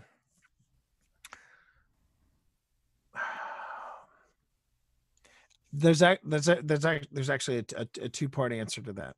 Uh, I would say the first part is um, the first part is is I, I I underestimated the community and and i think that's one of the things that has always inspired me in podcasting has been the community that um, not just not just the community based around my podcast but the community the podcasting community in general. Um, my um my life took a really dark turn in uh at about was it was it 11 years ago? It was about 11 years ago yeah yeah. Um it was the beginning of the year it was beginning of 2010 and um and my wife at that time passed away uh, due to complications of the flu. And it, it just completely sidelined sidelined me. Um, it was also it was it was a re, it was a real rough time too because uh, what made it even more complicated was we were in the middle of a divorce. So we were separated. Mm-hmm. and then to add that complication more my daughter at the time was six. Oh. so no Five, excuse me, five. So yeah, um, really, really rough time, and um, and I, I, I really did not know what. I, I was kind of lost, and the the the podcasting community shocked me in that they rallied around me, and more importantly, they rallied around my uh, my daughter, and they did a uh, um, they did an all day um, podcast marathon uh, to uh, like a, like a benefit uh, to raise money for her and her her college degree, or and her and her you know they they raised they raised a, a, a crap ton of money, uh, and um, and I was like I was like I I just didn't see it coming. I mm-hmm. honestly just didn't see it coming. I was I was I was um I was moved by it. I was I was touched by it, and I I realized, okay, I'm I'm I'm part of something way bigger than just my podcasts, and um, and every every penny of that went straight into uh, a, a college fund for for for her, and it just it just kind of it it kind of reaffirmed that I made the right choice by getting involved with podcasting. I made the right choice about about coming, you know, you know, doing what I'm doing with podcasting. And it was just, it was just very, it was very humbling. It was very humbling. Um, the second part of that that really blew my mind is actually involved with uh, with with the streaming community, and this is when I started. To, and present at the time of this recording, I am I am celebrating all through the month of September my uh, my third year as a streamer. Yeah. Uh, I have been streaming content for for three years now, and it has been it has been a real education. And I very similar to very similar to uh, to podcasting. After a year of, of streaming, I said I want to write a book on this, and that that wound up being Twitch for Dummies. So I um, but the but the thing I found so funny was that everything, I mean everything that I heard about podcasting, the podcasting community, uh, how welcoming it is, how, how it's this, how it's that. Oh, it's great. It's going to change the way people consume media, et cetera, et cetera. was the exact same thing I had heard a decade earlier when podcasting was just starting. Hmm. And I remember looking at I, I remember when I when I first started getting into it, my first year, I was looking at all these streamers that I start that I started following and I started getting to know, and I said, "You all have no idea the bumpy ride that is ahead of you," because now I'm hearing people go, "Yeah, streaming's great, but it's starting to get a little saturated. It's starting, to, you know," and I'm like, "Yep, we said that too. You're not there yet. You're not there yet, but just just hang tight, everybody." And it's it's funny how. I just find it funny how it is uh, the the parallels. I've said this before. How the, the parallels between podcasting and streaming are so stark to me. It's a little overwhelming, Hmm. and I I just I just go I I- just I and when when I um and there, there, sorry then there's one more thing um that has um oh how do I put this? There's no way to I, I'm just gonna be blunt. There is no way to put this gently. Um, the thing that that that I think has been uh jolt uh, has been sort of a jolt a jolt to the system has been that um is the way people reinvent history in particular with podcasting Hmm. um there was an article that came out uh uh, in 20 hang on a minute 20 it was 20 it was 2014 yeah 2015 actually it was 2015 it was 2015 an article came out um, from Wired magazine, and it was Wired magazine that uh, basically said uh, the headline read, and I'm not exaggerating. The headline read, "Thanks to Welcome to Night Vale, podcast fiction is a thing." Hmm.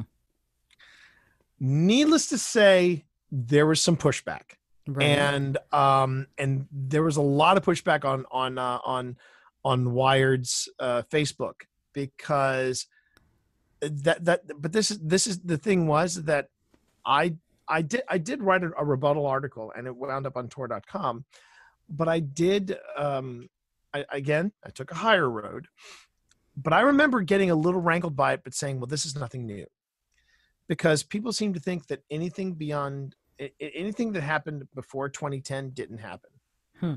So a lot of uh, there, there's been a lot of people who have who have uh, who I, I and I love having these conversations with people. Uh, there was a conversation I was having with somebody. He came in and he was basically promoting um, uh, the possibility of, of of bringing podcasting services into our, our place of work. And I'm I'm I'm nodding and I'm listening to him and I'm like, it's never going to fly here. And because I already knew that, I already knew how the attitude towards podcasting was, and um, I knew it was going to fly there because he wanted to charge a lot of money for it. I was like, Mhm. I was like, but, but I, I was going to let the guy speak, and there was a lull in the conversation. I think that because I think they were they were going off to talk about the different services that this gentleman was going to provide, and I said, I said, so you've been you've been podcasting for some time and he looked at me and he gave me a smirk and he was like yeah i'm one of the longtime veterans and i went oh really and keep in mind this is like 20 this, this- so I, I couldn't wait to see where we were with this. Again this was like this was like 2015 2016 Uh-huh. and i said i said so how long have you been podcasting? Oh i've been podcasting a long time. I've been podcasting since uh, 2012 Ooh. and i sat there and i just i just nodded and smiled and i said i said keep at it. You're doing you're doing good. And he looked at me and he was like do you podcast? And i go yeah i do. And he goes how long have you been podcasting? And i'm just and I didn't blink and i just stared at him. I said i've been podcasting since 2005 i'm the first guy to podcast a novel from cover to cover and i'm one of the authors of podcasting for dummies. And he and he stared at me and he did he never took his eyes off me. His eyes he he went into his coat pocket he pulled out a card. He pulled and he very tenderly handed it to me and said would you like to come and speak at our event next month? And i just took the card and i looked at the card and i said i'll be in touch and uh, i wound up speaking at his event i mean it, it, it's because it's funny how people just seem to think that podcasting is this new thing Mm. and I'm like, folks, this is the fourth edition of podcasting for dummies. And it's been and we've been at this for for nearly 15 years. And I no, I take that back. It has been 15 years. In fact, it was it's, it's it is uh it is 15 years uh it was 15 years in July where I finished Morevi. Wow. I I finished it the week before. Uh, I finished the I finished it the week before July second. I remember this because I finished Morevi, and the following week I flew to Calgary, Alberta, for what WesterCon for WesterCon fifty six. Can't believe I remember that, but it was Wow. WesterCon fifty six. It was one of the it was it was the it's the big West Coast North America convention for science fiction and Dragon Moon Press, who was my publisher at the time, um, they for the first time we got ourselves we got ourselves a booth, and we had uh, I think I think at that point Gwen Gwen had met two of her authors at that point. Gwen Gades, the, the the head publisher of Dragon Moon, and that weekend, I want to say ten authors from Dragon Moon affiliated with Dragon Moon Press flew in for this event and uh, those and I can I can even rattle off. We had uh, we had two authors from from uh, Arizona. There was me. There was uh, two Canadian authors. There was uh, an author from uh, Vermont, and this is not an exaggeration. We had we had uh, a um, an author from Hong Kong Wow. fly in for WesterCon 58. And we wound up not only having a huge presence at that convention, not only did we wind up throwing one of the best room parties, um, but I remember very vividly people coming up to the to the table and saying, "I just finished the Morevi podcast. Where's the legacy of Morevi?" And I handed them the and you know and and uh, and we sold a lot. We we sold out of we sold out of uh, sold sold out of a few titles, but we sold a lot of books that weekend. Gwen said, "I've never come to an event where I've uh, where I've sold this many books," and and a- and we I just we just attributed to the podcast. Yeah, and it was a beautiful way to bring the story to people in a different way. Yeah, and and but but the thing is, there are people that they just apparently 2005 didn't happen. apparently apparently none of this happened. Apparently nothing really happened until Aaron Mahnke dropped his first episode of Lore. And even then, Aaron Mahnke's lore didn't come out as Aaron Mahnke's lore. I mean, there was there was a build up to that. Mhm. Same thing with Welcome to Night Vale. There was a build up to that. And and it does help when you have like, you know, New York uh studios that you can go in and record stuff in or that you have, you know, you know, high higher end talent, which is again part of the uh as you as you mentioned earlier the wild west attitude of Mhm. it's only been it's only been in recent years that SAG and act and Actors Equity recognized podcasting as a Mhm. thing. Mhm. Because I I mean there were there were people that were doing voiceovers and they were doing voice acting for podcasting and they were either getting paid a stipend or they were getting something way below.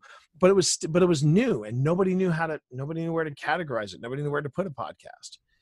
Um, so yeah, I, I I do find it a little it's a little discouraging when you find out that there are people that that that they um they don't think anything happened before 2010 but you know i just i just i i go ahead and i just nod and i go look if you want if you want to believe if you want to believe that that's okay i just i I- i let the work i let the work speak for me it was that was that was the mantra of alan rickman and if it worked for alan rickman then it works for me Amen. And yet, I, I sometimes, uh, quite frankly, get a little. I, I'm. It's not upset. It's it's concerned that it's a Google away. You know, finding out some of this information, you can Google it so easily, right? So so it makes me wonder what what's going on with the idea of research. Because if I were going to go, you know, let's talk. do you really want to go down that tangent do you really want to go down that rabbit hole That's another. Oh, that's another episode the- altogether. stories the stories that i could tell about yeah i mean um the, the i've seen keynotes given by people who are considered quote unquote pioneers of podcasting. And you look them up and they're one of those podcasts that happen to appear on on on itunes and they've got five episodes and then they were done. Mm. or they've got yeah they got they have a book on podcasting that they self-published one book on podcasting and they're they're the pioneers. And i you know it again you're right. Yeah good, i have done that to people. I have done that to people constantly. I've had people come on come onto my stream. They have come onto my stream and they um they've said what do you know about about this? What do you know about podcasting? And i go fair enough. Are you near a computer? And they're like yeah. I go look up my name. And then i they went and they were like and no kidding i'm not this is an exaggeration. I'll, I'll, the next the next thing that'll pop up in my chat will be oh shit.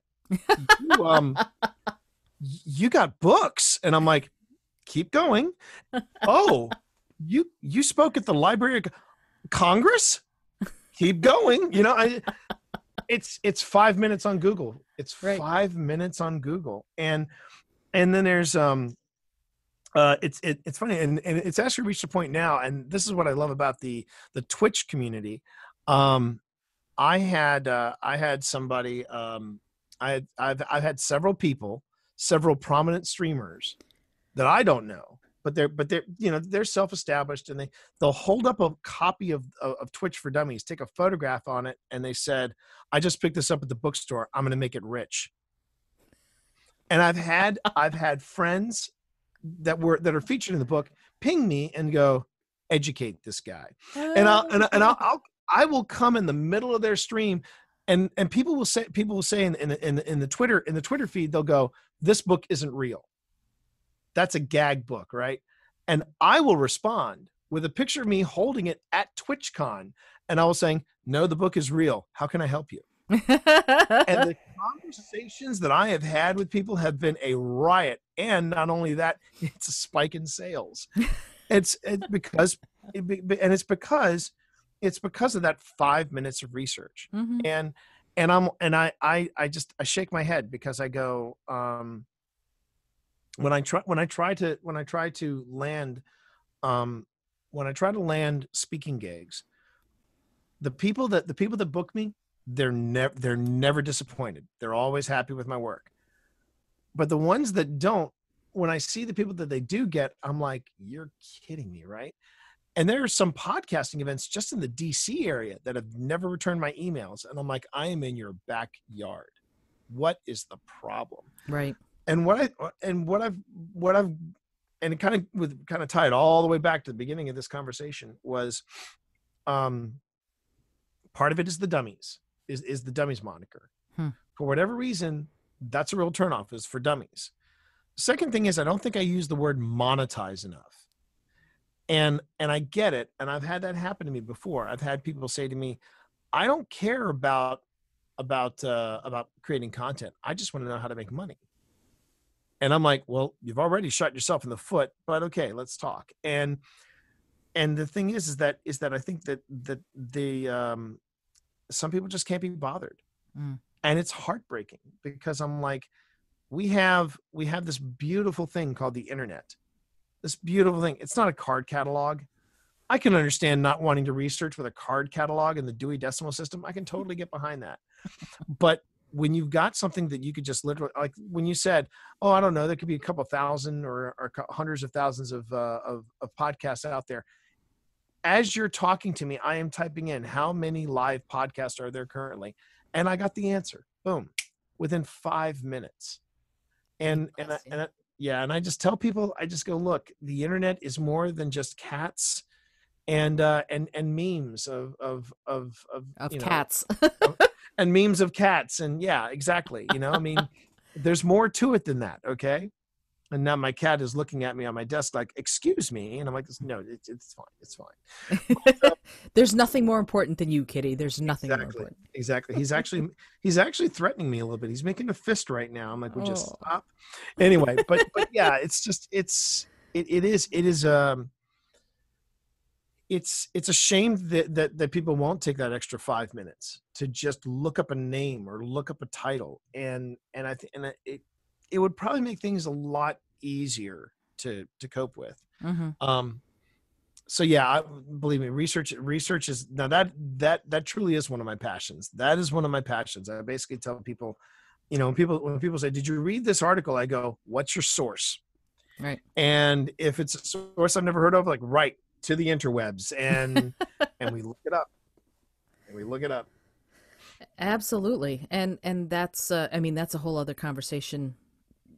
We could another four hours could go by, but but, but there is there is something about this idea to me that's so compelling about critical thinking and going you know even even especially podcast content. How do how do we know that this podcast content has veracity? How do we know that it's that it's the truth? Well we we can do the research. You can go to oh well t morris yeah the reason i had t morris in to talk about podcasting was because he wrote the book right? So Right. so there's there's a lot to be said for doing that and and about being uh, being discerning. And, and it's funny to bring Bill Fitzhugh back uh, to to name check him again. Bill if you're listening I had to do this. For his episode he the the little skywriting thing which I'm about to ask you in a couple of minutes uh, his thing was be particular. And I thought what a brilliant way to live to be particular. Be don't just swallow it whole. Be particular. Figure figure it out for yourself. What do you really want? What are you really going for? There's something very powerful about that for consuming content and also for creating it. What do you think about that? Um, what what do I what do I think about uh about being, being particular. voice, being particular? hmm I I think it was a I think it was something that I wish um that I wish Guy Kawasaki had said back in 2007. mm. Um, Kawasaki was was uh, kind of went into social media infamy when he on a blog post said um, everyone everyone's an expert. You know, and if you if you if you ever doubt that, just go online and basically say I'm an expert on dot dot dot. And he basically talked about the importance and the the uh, the impact that you would have every time you said, "Well, I'm an expert on." you know Mhm. subject a subject matter expert if you will and when i heard when i first read that and first heard that i said man the fallout from this is going to be epic because it's a bit like and i and before i say this next bit i gotta i'm going to be honest it's going to come across me sound like old man morris shaking his fist on on on you know on his front lawn but hear me out um it's a bit like when 20 somethings are are promoted to senior management positions Hmm. and 30 somethings are promoted to associate and executive associate uh, associate executive and executive positions Hmm. um to be a to be an expert you got to earn it you got to earn it and where and i think that would have that would have been uh, a very different kind of game changing statement if guy kawasaki had said something along the lines of be a be you know you know call yourself an expert but be particular about what you're going to be an expert in Mhm. and um you know i because uh because the, the, problem with with with making with proclaiming yourself to be an expert it, it's one it's going going from my from my own uh from my own perspectives when i when i go on live with happy hour from the tower i make it very clear i am not the world's greatest player of destiny. I i like to in fact the, what i say is is that um you know when people say describe to me happy hour from the tower i'm like it's three knuckleheads who absolutely love the game destiny and by by using the term knuckleheads people know okay this is not necessarily the podcast for you know for for the serious analysis of the game. This is we might do that but there's always going to be that little tongue in cheek involved. Mhm. um of course when it comes to the shared desk though i am an expert Mhm. because I'm pub I'm a, a, published author. I am I have been repeatedly published, and uh, you know I have written a uh, with my wife a six books steampunk series. We're working on the third book of a spin-off series, and I've got fourth edition of podcasting for dummies coming out, and I've done other dummies books. I've been affiliated with other dummies books, so for that, yes, I have that street that street cred behind me Mhm. but in, Gawas, in Guy Kawasaki's world, I could go on ahead and say uh, I'm an expert in cooking. And next thing I'm starting up a cooking podcast. And the problem with that is I have seen one too many episodes of Chef's Table on Netflix. And when you see those po- those people on Netflix, woofa.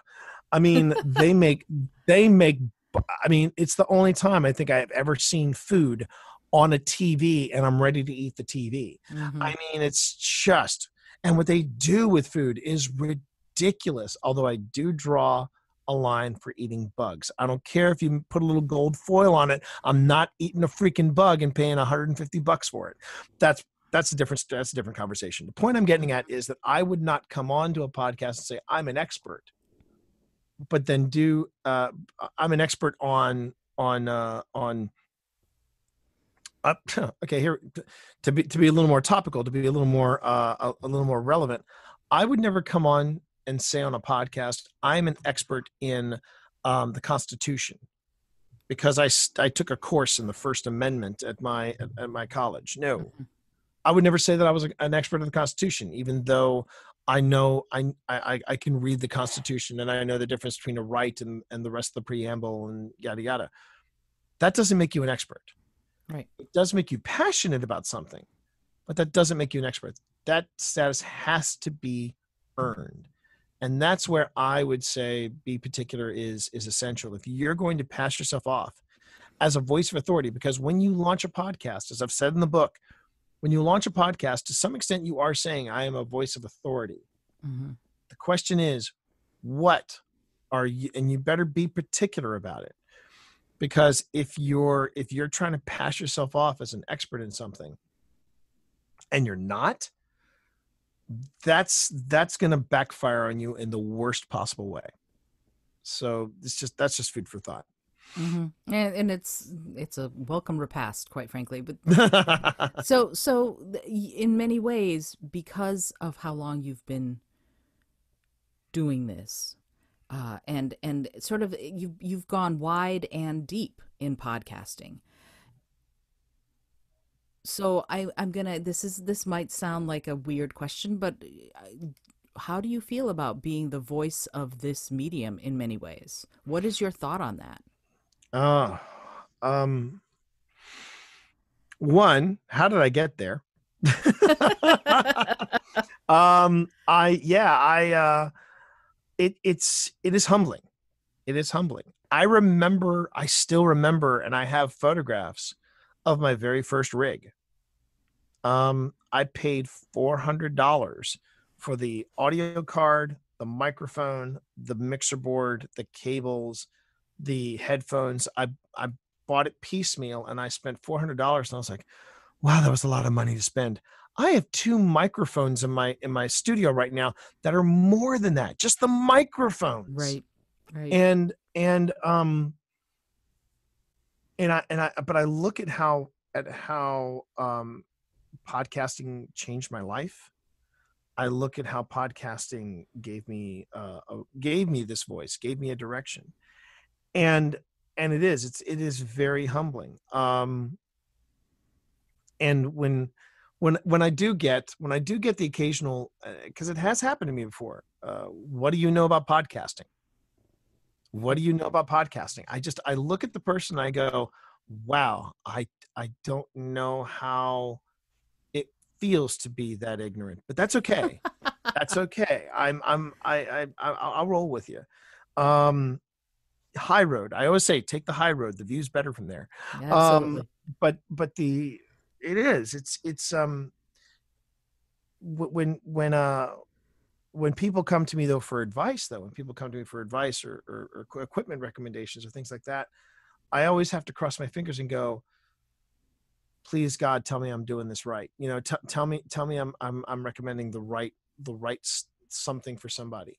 But i but i also i also have said before one size again doesn't fit all.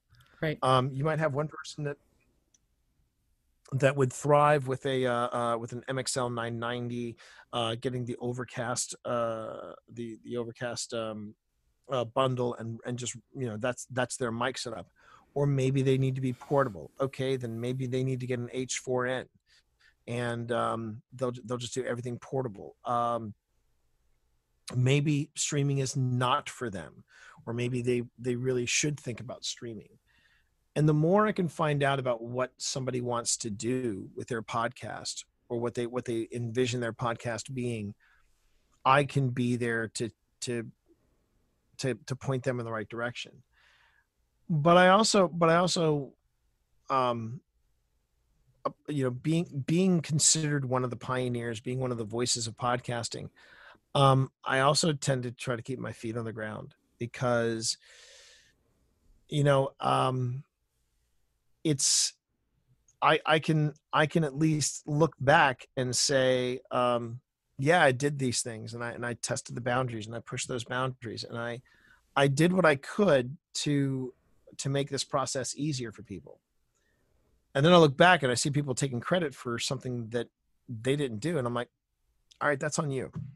Um it's, it's sometimes sometimes it can be a, a hard walk.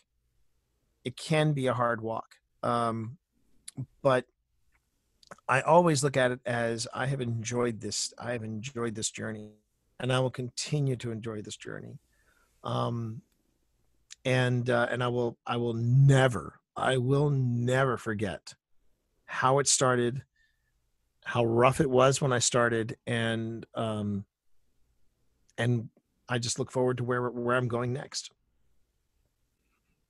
That's beautiful. I love it. And I adore you. And and this brings me to my penultimate question. Okay. You you said you said, you know, where I'm going. Where is podcasting going? Where do you think it's going and what do you think are the possibilities for podcasting moving forward? Yeah. Um I, have been saying it a lot, but I, I've been really seeing streaming as you know that's that's the next logical step mm-hmm. And the, the, the current model that i've been playing around with that that has worked best for me is um and to understand why this i think this is working so well uh and i and i think it's it's uh it's it, it is such a it is it is such a huge step forward was that uh, I, I have to reference there was a there was um, a piece of uh, it was a software and and and I'm I'm not going to mention my name because they're still running, and I know that other people have gotten them to work before, but I could never get their software to work. Hmm. I could never get it. And the, the gimmick behind their software was was that you could do live podcast recordings. Mm-hmm. You know, you could podcast live and through their site you would hear the you would hear the audio and you could you could interact with chat and oh it was and you could call in if you wanted to call in you know it was it was basically that sort of thing I could never get it to work. Hmm. And and this was back in 2007, 2008. And um and live podcasting was, was supposed to be the next big step. Mm-hmm. Well, fast forward, now we've got Twitch, and we've got Facebook Gaming, and we've got uh, and we've got Facebook Live, and we've got YouTube Live, and and you look at their services, you look you look at those streaming services, and you look at what you're doing with that podcast, and it really can be exactly what this software promised back in 2007 but now you've got discord involved and you can mm-hmm. bring people into your chat and you can you can have them ask questions of guests. You can have them chit chat with guests if you want. Uh, they can become part of the show if they want. Then you've got the chat itself. You've got people dropping questions in chat and they they go on ahead and they talk in chat. And all this stuff adds to the excitement. When when i when i first introduced the idea of streaming the shared desk uh pip my wife uh my partner in crime she was totally against it. She was just like i don't know t. I don't know if that's going to work. And i said let's just try it out and let's see what happens. And within 10 minutes of the of the of the her first stream with me she was all in. She was all in. Hmm. and and it just it, we, when we immediately found a groove she started seeing people coming into chat and talking and asking questions and you know and seeing that interaction. And this was something that that people really wanted they wanted to have that live interaction with the podcaster and now you've got you almost have two flavors of podcast you can either you can either watch the live show and then if you want, you can also do like extra content at the end where you just hang out. You can go off on any tangent you feel like, and then just uh, and then you export all that. You take the audio, you chop off that uh, last bit that has nothing to do with the with the meat and potatoes of the show. You refine it, and now you have the audio version. So now you have the polished audio version of the show, which goes live on the podcast feed. But then with streaming, you can actually bring in a live aspect of it. Mm-hmm. So instead of doing like special live recordings, you now every recording is live, and that's a that's a pretty exciting exciting place to be. And that's where that's where I see it going. I see I see um, I see more interaction with podcasting. I see um, I see more uh, I see more people listening to podcasts now that now that um, Spotify has joined in, and that's the other thing too. I think right now being a content creator is not only challenging because of all the saturation, but it's also going to be a challenge because there there's going to be an, a demand for new content because as you said earlier uh, production production companies for television for and for film and all that they're they're having a tough go. I mean they released Tenet. They released Tenet in the Mhm. theaters. And this is a christopher nolan film. Right. and this was super hyped up and it's made 12 million. That's it. Yeah, i mean yes theaters are suffering but it's because people don't want to risk their lives to Makes go sense. and to go to watch the movie. Makes perfect sense. Makes perfect sense. The you know right now being a drive-in is probably one of the best things you could do. Right. and and and um and while i get it you know directors want stuff stuff to be seen on the big screen. I totally get that. But what was it apart from the dune trailer that everybody was losing their minds about online? It was when the cast of the princess bride at the time of this recording got online and they did a live reading of the script as a zoom meeting people were losing their minds because this is going to be the way some people are going to start creating content. Mm-hmm. And um, I'd be the first one to say, I'm no competition for the Princess Bride live reading. I mean, come on. But I can say, if you want to catch content, yes, I create it. I create it on a, on a regular basis.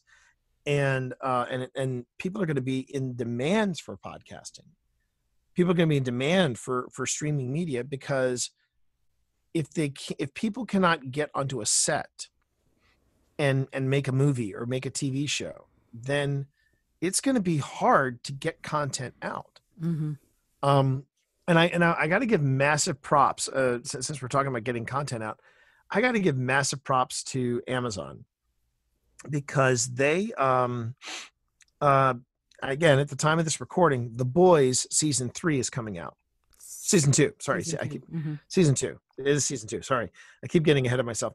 So season two of The Boys is coming out. They're also doing a live after show called Inside the Boys, and it's it's hosted by Aisha Taylor. Uh, Aisha Taylor, yeah, Aisha Taylor. Um, Aisha Tyler, excuse me, Aisha Tyler. Sorry, and um, and the thing is, this you know usually with the after shows they're all in studio together they're all doing um you know they're, they're all they're all talking about the episode what they liked what they didn't like etc cetera, etc cetera. what they're doing instead is they're doing a socially distant one where they do it like a they do it like a zoom but they have they have like they give some presentation behind it you know they've got some they've got uh, panels they've got all this stuff up. But what they did was what amazon did was they basically took backdrops that mimicked the set of where Aisha uh, Aisha Tyler is, and they sent them to all the actors and actresses and, and and crew and writers and everything, and they said just put this backdrop up behind you, put yourself in front of a computer, and we'll take it from there.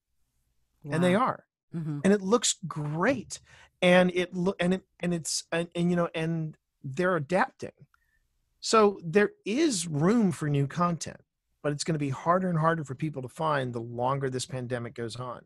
Right. So yeah, podcasting that's going to be in demand, and uh, and as I as I tell people, what you heard me say earlier, when you feel like you are, um, when you feel like you are, are are you know podcasting to the void that nobody's listening, podcast even harder.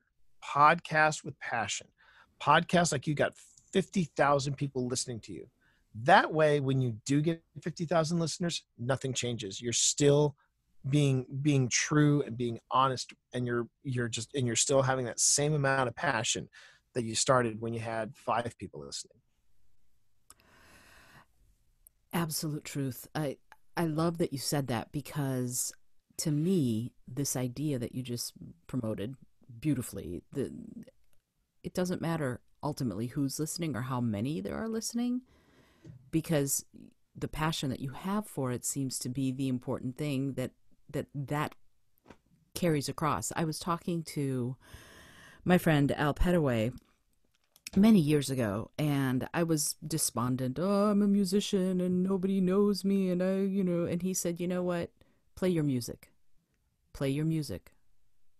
Your audience will find you." Mm-hmm. And I went, absolutely you know i mean when when you have a grammy award winner telling you to play your music because your audience will find you you listen but but it, but but you just said it too and it's so important this this idea that what is what is the truth of your heart? What is the passion of your soul? Yeah. Do that. And there are other people out there who will have that same passion. Will it be 14,372 people? Probably not. But that doesn't seem to be the important part of this. You know what i mean? Right.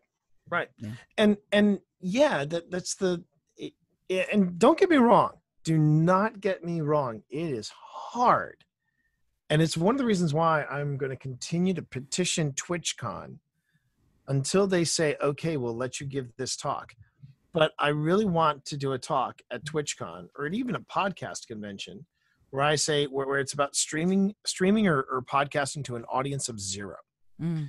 because it is hard to do Mm-hmm. And it's particularly hard when you don't think anybody's listening or you don't think anybody's reading or you don't think anybody's uh, watching.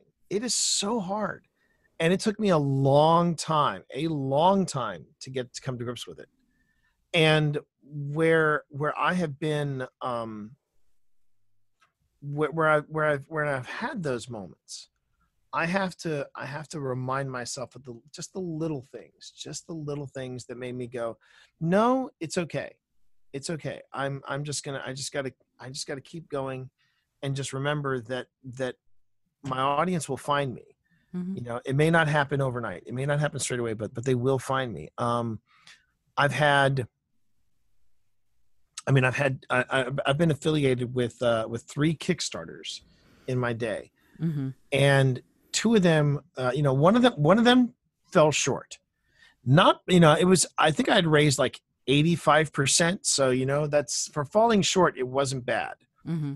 The other two, raging successes, raging successes. So I, I know that the audience is there, and mm-hmm. I and I and I've and I've been there before, and it's just a matter of, but it's a matter of, I'll stop podcasting when I stop enjoying it and that I don't see that happening anytime soon.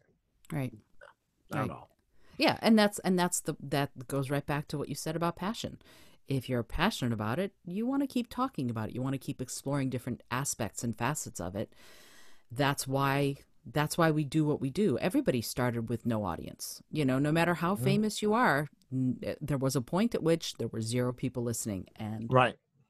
It grows from there, you know, every day there you might find somebody new or somebody new might find you and that's how we do it and that's how right. we build a community i mean that you know you mentioned community early on and that's such an important aspect of this whole idea is that I, to me podcasting feels even if you're not asking for people to send you questions it is a form of conversation you know it is a form of of being involved with your audience because of the feedback you get after the fact. But in streaming, it seems like it's it can be live and right there, which brings a whole other dimension to the podcast.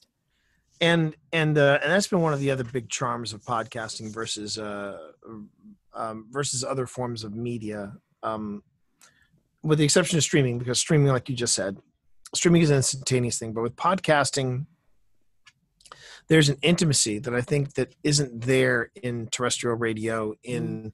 mainstream broadcasting where people feel like it's it's closer to um, going back to the analogy with with FDR the fireside chat mm-hmm. where people could uh, I mean I people write emails to to us. People write. Uh, people send send voicemails to us. You know, you, there are there are all different ways that podcasters make themselves accessible. Mm-hmm. Um, I think the the hardest person that I think I've ever found um, accessible that I, that I find to be accessible makes sense though. It's uh, it's it's David Tennant, and he actually just started podcasting himself. It says I think it's called David Tennant does a podcast, and and he's had some really good people on, and I um and my thought you know, and I looked at some of his guests and I thought, huh. And now I just got to figure out. Okay, I need to write a write a proposal letter, send it off to him, and see, see. You know, the thing is, I actually have to physically mail something to him, and I'm like, wow, I, I, a weird part of me kind of digs that um, because and and and it's it's it's intuitive on his part. If you are willing to make that effort, it's like research. If you're willing to make that effort, then then he knows you're serious. Right. Um, but uh, but you know, but that's that's the beautiful thing about about all these different uh, podcasts that are out there is that the the hosts if and if they're not and that's the other thing i would say too is that if you're not making yourself accessible as a host you're doing it wrong. Mm. um there have been some people that i contacted for for the podcasting for dummies fourth edition. Uh i wanted to get you know i wanted to use their artwork or i wanted to get their comment on something. I email them and i get nothing in return crickets. And i'm like this is not the way you want to do a podcast. Right. You know you want to make yourself accessible you want to make yourself because that is how that's how things like this happen you know you and me reconnecting getting together talking on a podcast or um or or other or other uh, other opportunities you know they Mhm. come with with you making a connection with your audience. Now it's not always going to be gumdrops and jum, j- gumdrops and unicorns it's not. You're going to have people that will tell you flat out how much they don't like your show Mm-hmm. and that's on them. That's not on you that's on them. Um but but making yourself accessible that intimacy is what i think is, is something else that separates podcasting from from different from different and and and the community they they gravitate to that because then they become an active part of the show. Mm-hmm. and that's one of the that's one of the appeals of you know people say that well that's a really big appeal of streaming. Yeah but podcasting was doing it years before streaming. So so and and, and it goes back to the fact that you're almost famous you're not mm-hmm. famous but you're almost famous and that, that just makes you a little more accessible That's right. Well, but also, you know, we're we're we're having a conversation that if someone wants to listen to it, they're not in a big arena.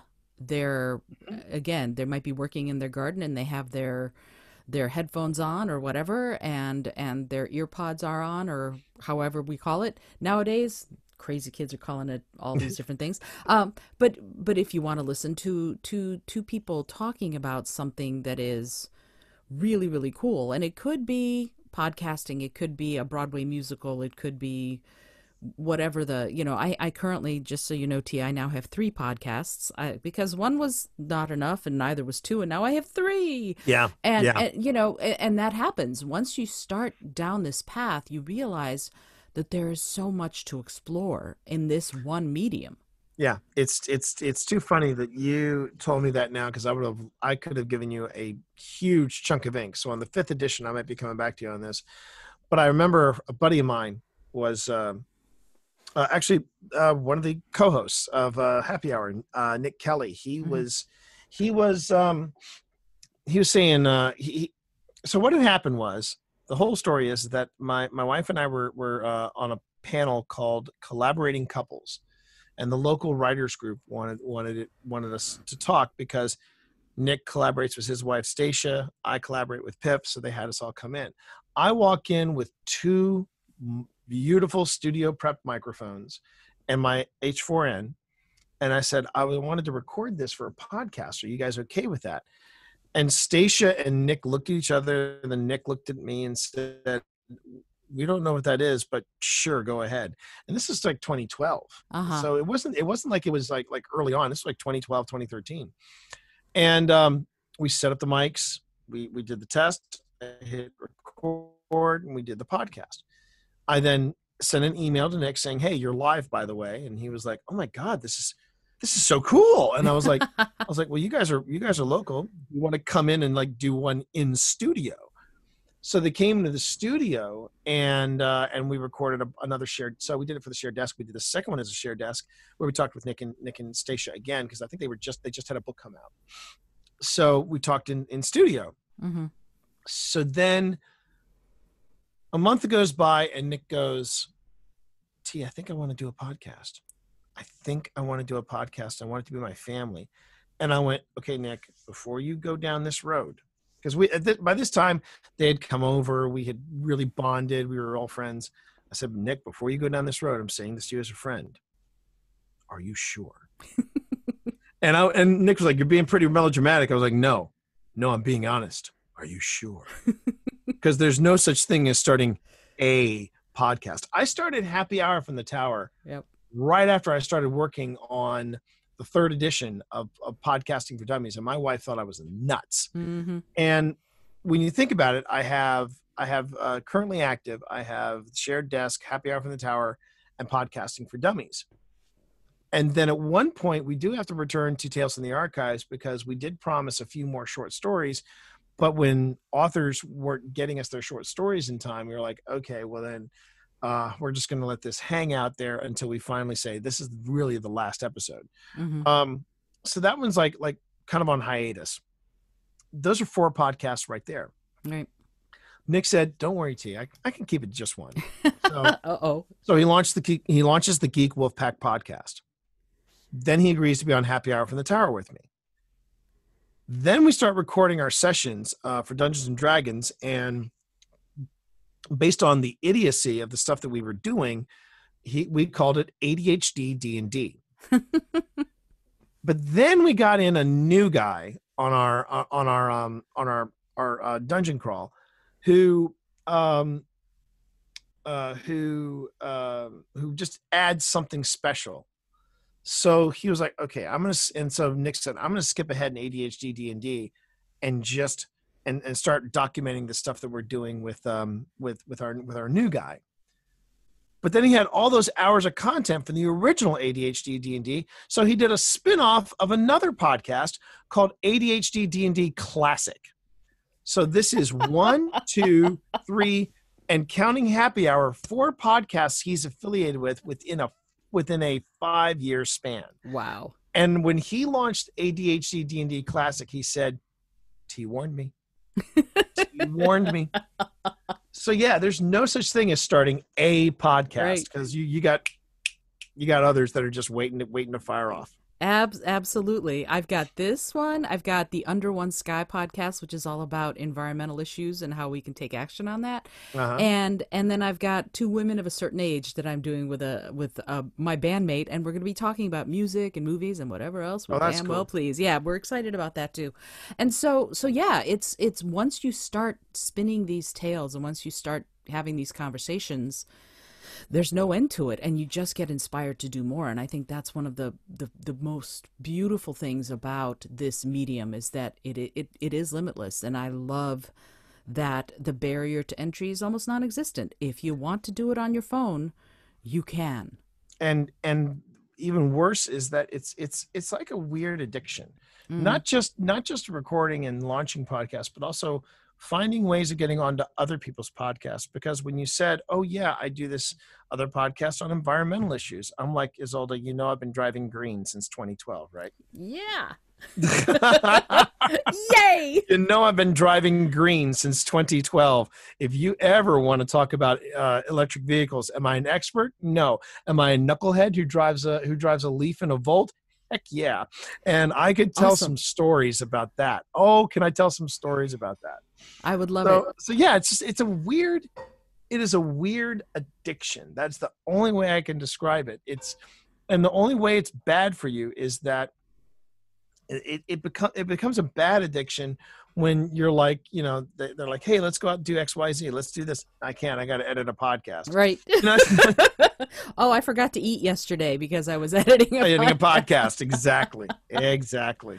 Absolutely, absolutely, uh, yeah. So, uh, okay, I, I I lied when I said I had one more question because I I did want to keep this under our record of three and a half hours, but I, am not sure we please. will. Um, so let it go, let it go, right. baby, let it go. so so so let let let's talk about this real quickly. Ha ha ha! You and me talking about something. Promotion. How do you tell people about your podcast about? Uh, matryoshka dolls. How how do you tell? How do you how instead of the other way the audience finds you? How do you reach out mm-hmm. to people? What's the best way to tell them about the cool new thing you're doing? Right. Um, well, I mean, bottom line, there's this thing called social media. You got to get the word out. You got to get the word out that you're doing it. Mm-hmm. Uh, you can't be shy about telling people about your podcast.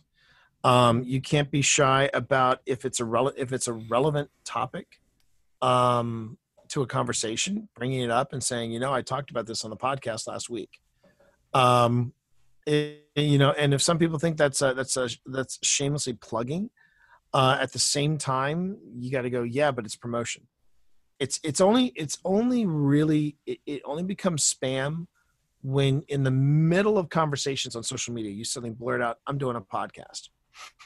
Um, I I tend to be very uh, I, I tend to be very particular, uh, be particular, uh, especially when it comes to promotion, about how and where I um, I I let people know that I have a podcast. Mm-hmm. And even when you when you put something on Facebook, on Twitter, on on on Instagram, even when you do that, there are people that still go, "Wait, you've got a podcast?" So they'll still miss it. Mm-hmm. But um, but yeah, I I what there there are a couple ways, a couple of uh, a, uh, a couple ways that I that I promote a podcast. Uh, one way is I go on ahead and I create promos for the for my podcasts. Mm-hmm. Promos are any anywhere from a minute to a minute and a half, little little um, and and when you get a minute and a half, you're kind of pushing it. But if you've got if you're clever enough in your in your promotion, um, you can you can actually go a little longer. Um, but that's the sweet spot. It's a minute to a minute and a half, and it's basically about your podcast, and you you're basically creating a commercial for what your show is all about. And if mm-hmm. you can incorporate clips from your show, that's even better if you can do that. Mm-hmm. Um, I've done that before with uh, with Happy Hour. I've I've scripted stuff before where we're kind of poking fun at ourselves. Uh, with the shared desk, uh, it, I, there was some there was some there was some back and forth banter with my wife. That worked. Uh, you know, there's all different ways of promoting a podcast. The, the trick is making sure that um, it's quick. You mentioned the website where people can find you, and also have you need to make sure because I've heard a lot of promos in my day, and it's amazing how many people go. I've, I've sent the promo back to the person. I go, you know, you haven't put a website or where people can subscribe. You know that, right? And some people have actually re-recorded the promo. Other people have said, well, they'll figure it out. I'm like, no, no, you don't do that. You got to tell people where they can find you. So, um, so that's one way. And then I basically go to, uh, I, you know, I will make an announcement on, on, on, on Twitch, on Twitter, and on, and on, on Facebook, pretty much anywhere I'm, I'm on socially. And I'll go, I have promos. If you want to use a promo, um, for your podcast or your or your stream, let me know. I would love to send it to you. Mm-hmm. I don't send them without invitation. Mm-hmm. Again, that's also spamming. You don't want to just just pick people at random and go, "Oh, you're a writing podcast. Here's my here's my here's my promo for the shared desk. Enjoy." Um, that could come across as a as as a as a no bueno. Um, the other way I promote my podcast is by creating show art and putting it on Facebook, putting it on Twitter, putting it on Instagram, and letting people know that if there's a special guest on, yes, if there's if there's something going on, yes, you know, I I like to keep people in the know on what what we're doing that way. Mm-hmm. Um, and since I'm doing it in the way where I've got a stream going and I've got um, and I've got a podcast, I will basically do a post about the stream being live, and then the, when the podcast is uh, is is available, that's when I go. Podcast is now available.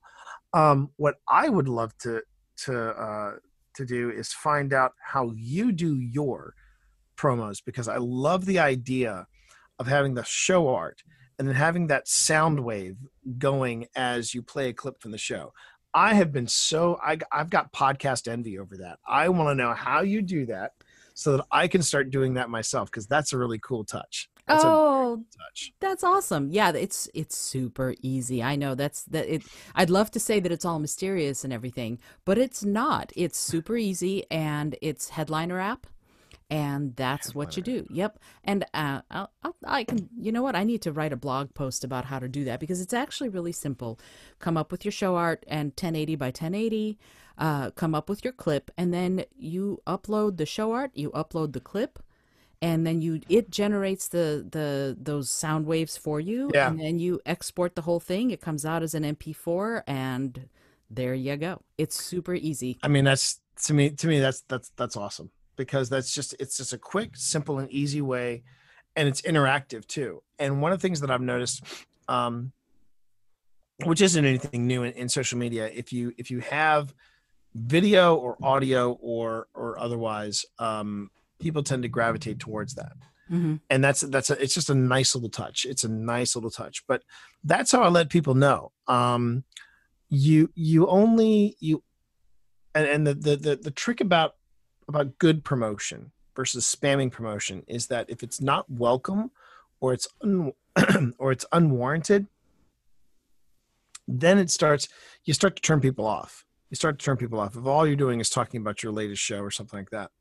But if you're having a conversation with people and they start talking about um, let's say somebody starts talking about um, um, writing about about about uh, about writing um, and and we go into writing with with a collaborative audience or something along those lines well that's when you can point out the shared desk because we talk about collaboration mm-hmm. uh, if you're having a if you're having a conversation online and someone talks about say um, they're doing a research paper on the early days of the of the space race well then you can also point to them time magazine's countdown which was a limited edition uh, well, a limited series mm-hmm. that was um, that was about the early days of the space race and how close uh, some accidents came. You know, l- little things like that. I mean, you can go you, if if it's relevant, promote it. But when it comes uh, when, when it comes in the middle of, of conversations that have nothing to do with your podcast, mm-hmm. that's when you kind of cross the line. And right. but you can't be shy about it either. You can't be shy about it either. If you podcast it, they will not come. You have to let people know that sure. you've got a podcast in your life. Yeah, absolutely. And and and one of the things that I think is really great to to remember is that the people you are friends with on social are friends with you in part because they want you to know what's up with them, but they also want to know what's up with you. And if this is what you're excited about, then then talking about it is is a good thing you know that's i'm i'm going to be trumpeting the fact that you and i got a chance to catch up and talk again all over my social media because right. part you know because because a i think you're fabulous but also because it's a it is a relevant conversation. Podcasting and social media are such they're huge parts of a lot of people's lives. But you know what's interesting? And this is something i'd like to see. I knew that i wasn't going to be done asking you questions. I'd love to get your take on this. Right here's here's there's there's a psychology at play here. When you're hanging out with a lot of like-minded people you start thinking that everyone is like you. In other words if you're hanging out with a lot of content creators you start thinking that everybody is a content creator but that is just not true. You know there are people who are content creators and there are a huge amount of the population that don't create content. Right what are your thoughts on that? How do you how do you feel about that idea of of, of the psychology at work there that, that that it becomes this insular we're all we are all one but we're not. Well, I I um again it, it kind of harkens back to those early days of of podcasting. Um when we started doing this, uh people were uh you, could say they were they were intimidated. You could say that they were uh, unimpressed. You could say they were they they just they weren't interested. But there were these there were these uh you know there was this uh, this this podcasting community it's like we're going to make content. And this was before making content was you know content creation was the thing and content creation was cool. And you're you're making all this really cool stuff and you're um you're you're you're you're kind of it, you're right. It was very insular, but then it started creeping. You know, people started doing uh, newspaper reports on it. They started they started going, "What's a podcast?" Books started getting published. Then people started going, "Oh, so it's it's it's kind of accessible." Now we're at a point where everybody's making content, and where I find it being a little um, insular or being a little um, a, a little ridiculous is um, how some platforms are trying to make their platform the one-stop shop. Mm. Uh, case in point, Facebook. Uh, Facebook owns Instagram. Instagram just introduced something called Reels, hmm and now I'm being I'm being told, oh, you should watch this reel. You should watch this reel. So I was like, okay, you know. And after about after about three weeks of hearing about Reels, I'm like, you know what? Fine, I'm gonna hit Reel, and I'm gonna see what what this reel is all about. I tap it. What is it? It's somebody's TikTok video repurposed on Instagram, and I'm like, really? Hmm. And and and there's there's nothing new. There's nothing new there. It's like it's like okay, so now you're telling me that Reel is just another place that someone can throw their TikTok video on. And while yeah, while everyone's kind of losing their minds right now about TikTok, let's be painfully honest. Those 10 videos that you see on TikTok that are super cute, super funny, super hilarious, that's 10 out of the millions of of dire videos that people are putting on TikTok. Um, not every TikTok video is going to be that stand-up comedian who lip syncs to Trump. They're not hmm and and that is that is where i think people are um right now we have so many different ways of creating content nobody knows where to put it. And facebook wants to be that one-stop shop. And i'm like well just because facebook just because you have a one-stop shop doesn't necessarily mean that's where you should be consuming your content. Hmm you know people need to I, I, and we said this in uh, my, my wife and i said this in social media for writers. These are all the platforms that we've that we've written about. But let's be honest you don't have to be on all these platforms. You can be on some you don't have to be on all of them um, i i tried pinterest. I've tried making pinterest work. I can't. Tumblr it's a place where i put my instagram stuff. Um, let's see uh, and facebook I at one time put a lot of stuff on Facebook, and then I saw on Netflix uh, this documentary called The Great Hack, and I feel I have been feeling myself slowly pulling away from Facebook, Mm. and and some of their policies I have not I have not liked at all, and the fact that that uh, that that Zuckerberg uh, basically was so cavalier about private data on Facebook, but then when some when a reporter asked him, "Oh, so you had a private dinner with uh, with the president? What did you have to say to him?" And they were like, "Well, I think you should respect the privacy there." I'm like, "Oh, really? Oh, okay. So it's there there are two rules at play here. Gotcha. Thanks, Mark. Appreciate it." Um, Hmm. To me, you you will find your audience and then focus on that platform. hmm And so I, you know, I, I, I tell people that, yeah, um, anybody can create content. Does that mean everybody creates good content? Absolutely not. But um, if you're having, like I said, going back to the to to to the to enjoying it, if you are having a good time creating content, then that's all you need.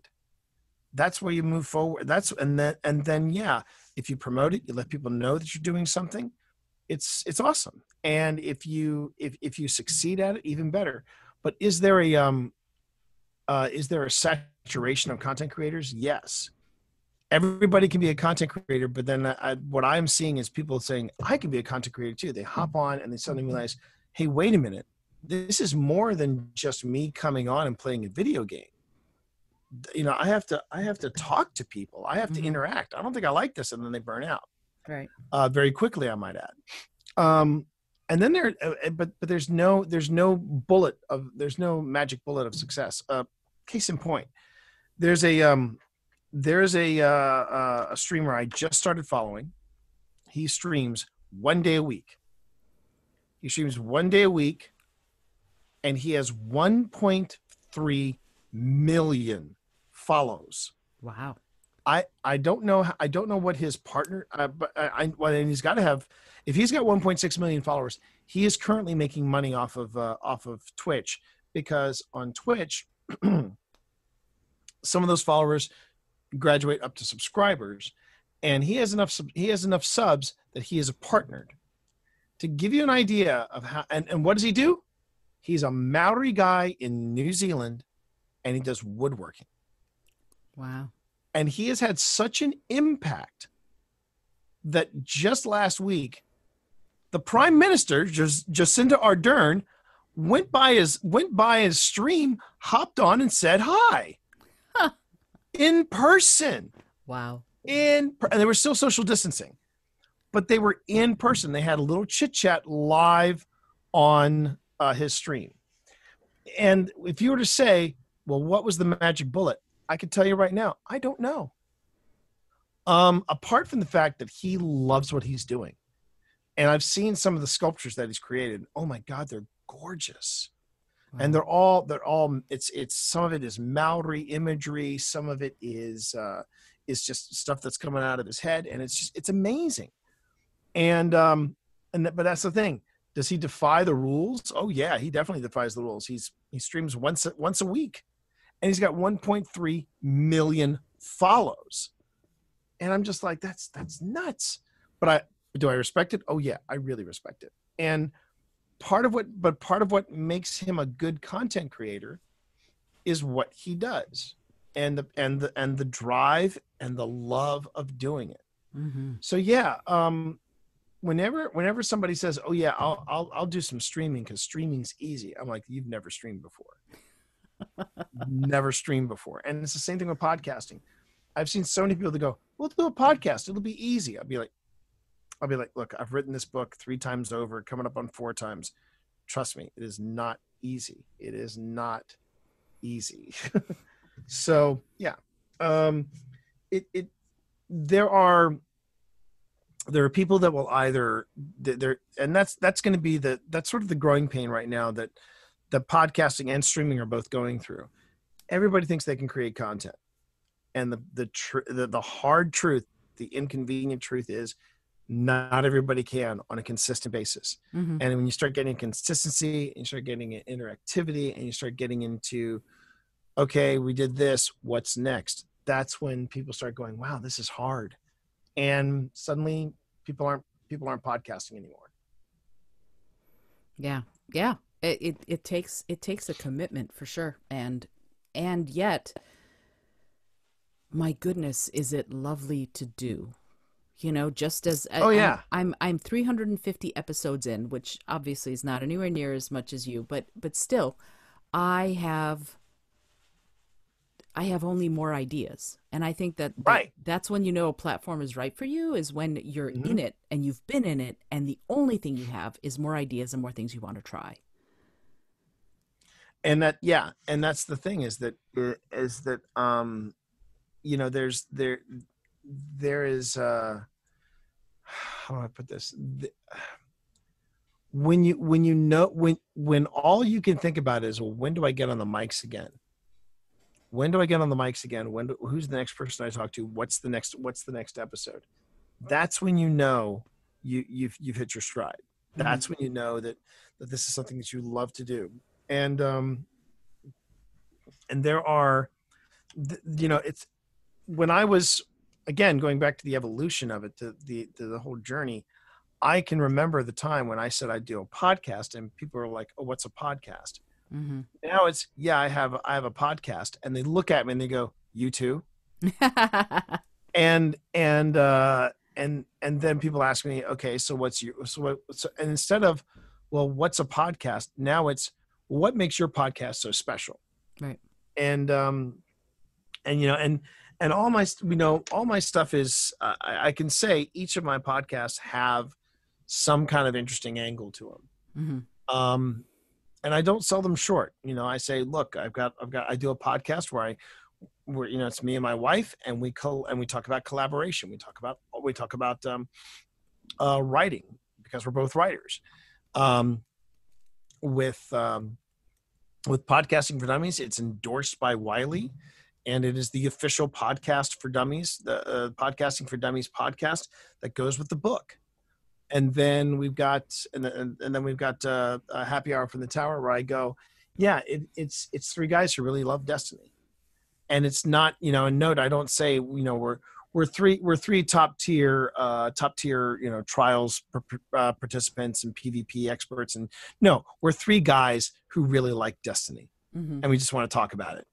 And so, and and this, you know, that is where that's where uh, where we are now. Um, the the market, the market, both podcasting and content creation, is absolutely wall to wall with people, but you're going to see that number start to fall hmm. and and and it's because people they're going to be people who think oh that's easy but then they try it and they go well maybe it's not as easy as i thought but then for all those for all those five people who try and pod fade after episode three you've got that one person that's like you and me who are going to be like okay when's the next episode right. what, what what what what can i do next and then you start you start actively looking for things to podcast and it's that's when you know. That's when you know. Yeah, I'm in this. I'm in this. Right. I'm in this whole. You know, hundred percent.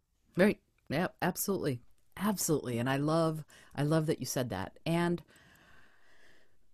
there's uh, you know there, here's the problem t. I'm having a problem and the problem is is that i could ask you another 50 60 questions and we could be here for that that, that marathon 24 hour podcast episode. Yeah, uh, yeah. because because you're such a delight and so so wonderful to speak with but i do know that there eventually one of us will have to eat drink or go to the bathroom. So uh I, I to be fair, to be fair, I've been I got I got, I got strong kidneys, and i have been hanging on to it for the past half hour, so we're fine. we're good. It's only if I shift and go, oh yeah, okay, right. It's all we need to wrap it up. I, when you realize, oh, things are changing. Um, yeah. yeah. So so okay, book comes out. Book is out today. Yay! Where can I find it? And where, more importantly, even can I find you? If I'm listening right. to this show, where do I find T Morris and where do I find the fourth edition of Podcasting for Dummies? The good news is is that you can find them all in the same location. Uh, you can find them at T Morris. That's my name. T E M O R R I S dot com. And when you get there, not only will you see across the top most, if not all, of my social media links, you also find uh, a direct link to um, my own my own personal bookshop where if you order the books from me directly, uh, they they come to you signed. They come to you signed. Now, um, if you would rather get your Amazon discount, get a little get a little uh, get a little street cred with Amazon, you know that sort of thing, you'll you'll be able to find the books on Amazon pretty much anywhere where books are sold. Uh, you can find you can find uh, uh, the fourth edition of Podcasting for Dummies today in brick and mortar stores everywhere. You can find it online everywhere. So yeah, but if you want to keep an eye on what I'm up to and what I'm doing, yeah, that's going to be um, that's going to be tmorris.com, and and hopefully I will be uh, getting back into the swing of things with with uh, with blogging myself by the time this is this recording drops. I'm not going to make any promises on that because again, blogging is always the toughest thing for me to do. But that those are all the places where you can find me. Excellent. Thank you. I appreciate that because it would be really sad to do this whole episode talking about the fourth edition and not mention where people can actually locate it. Exactly. Because there's so much updated and so much new from just five years ago that I'm super excited to read what all the cool new stuff is that you put in. And and it changes you know i can't now i'm like okay the fifth edition in a couple years because i'm sure things will change even further and I'm so glad that you were there to stay on top of this and then bring it out to the rest of us who learn from you. So thank you for that. thank you. Hey, thank you for picking up the third. It's because of people like you who picked up the third edition that now there's a fourth edition. I mean, that's that's how that's how book sales work. If even if nonfiction, if a, if enough books sell, they'll go, yeah, let's do this again, and we right. do, and it's always good. It's always yeah. good.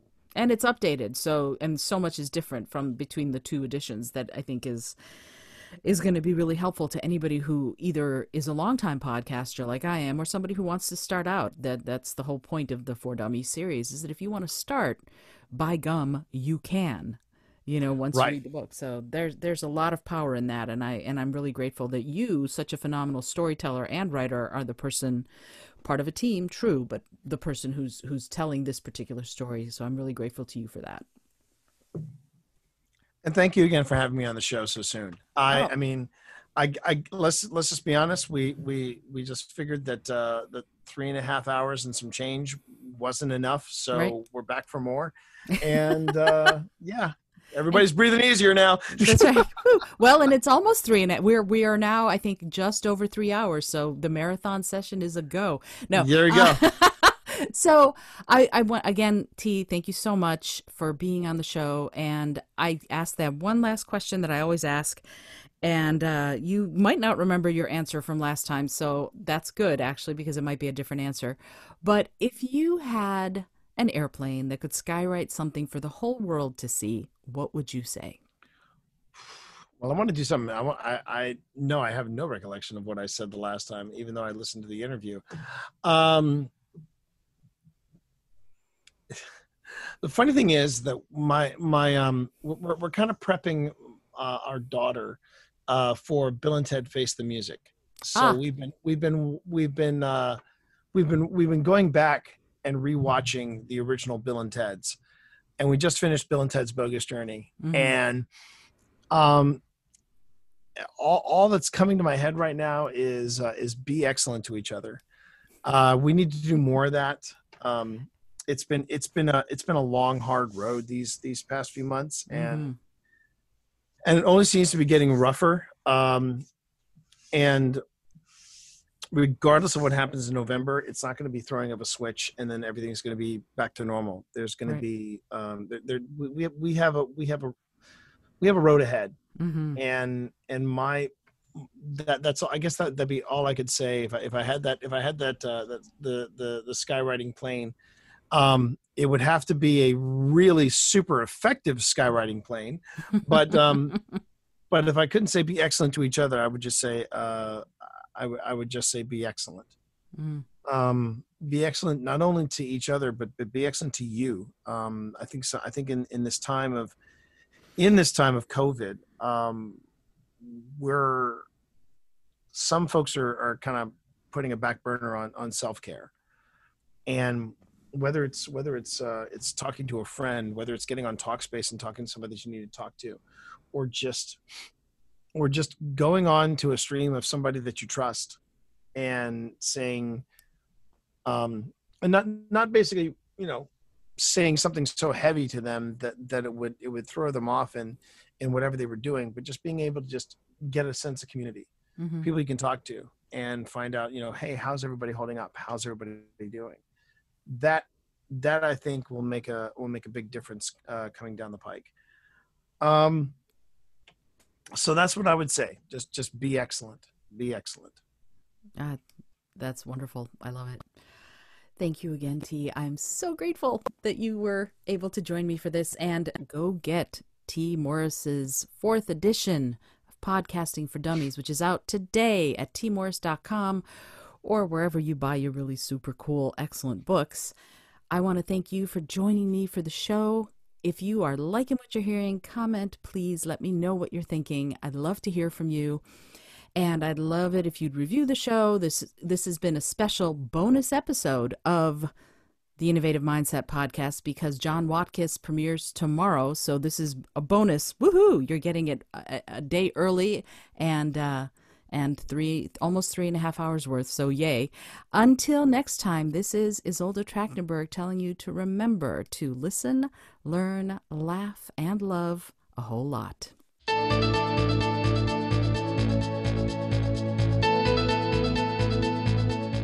Thanks so much for joining me today. I really appreciate you being here. Today's episode was produced by Isolde Trachtenberg and is copyright 2020. As always, please remember this is for educational and entertainment purposes only. Past performance does not guarantee future results, although we can always hope. Until next time, this is Isolde Trachtenberg, and I send you all of my love.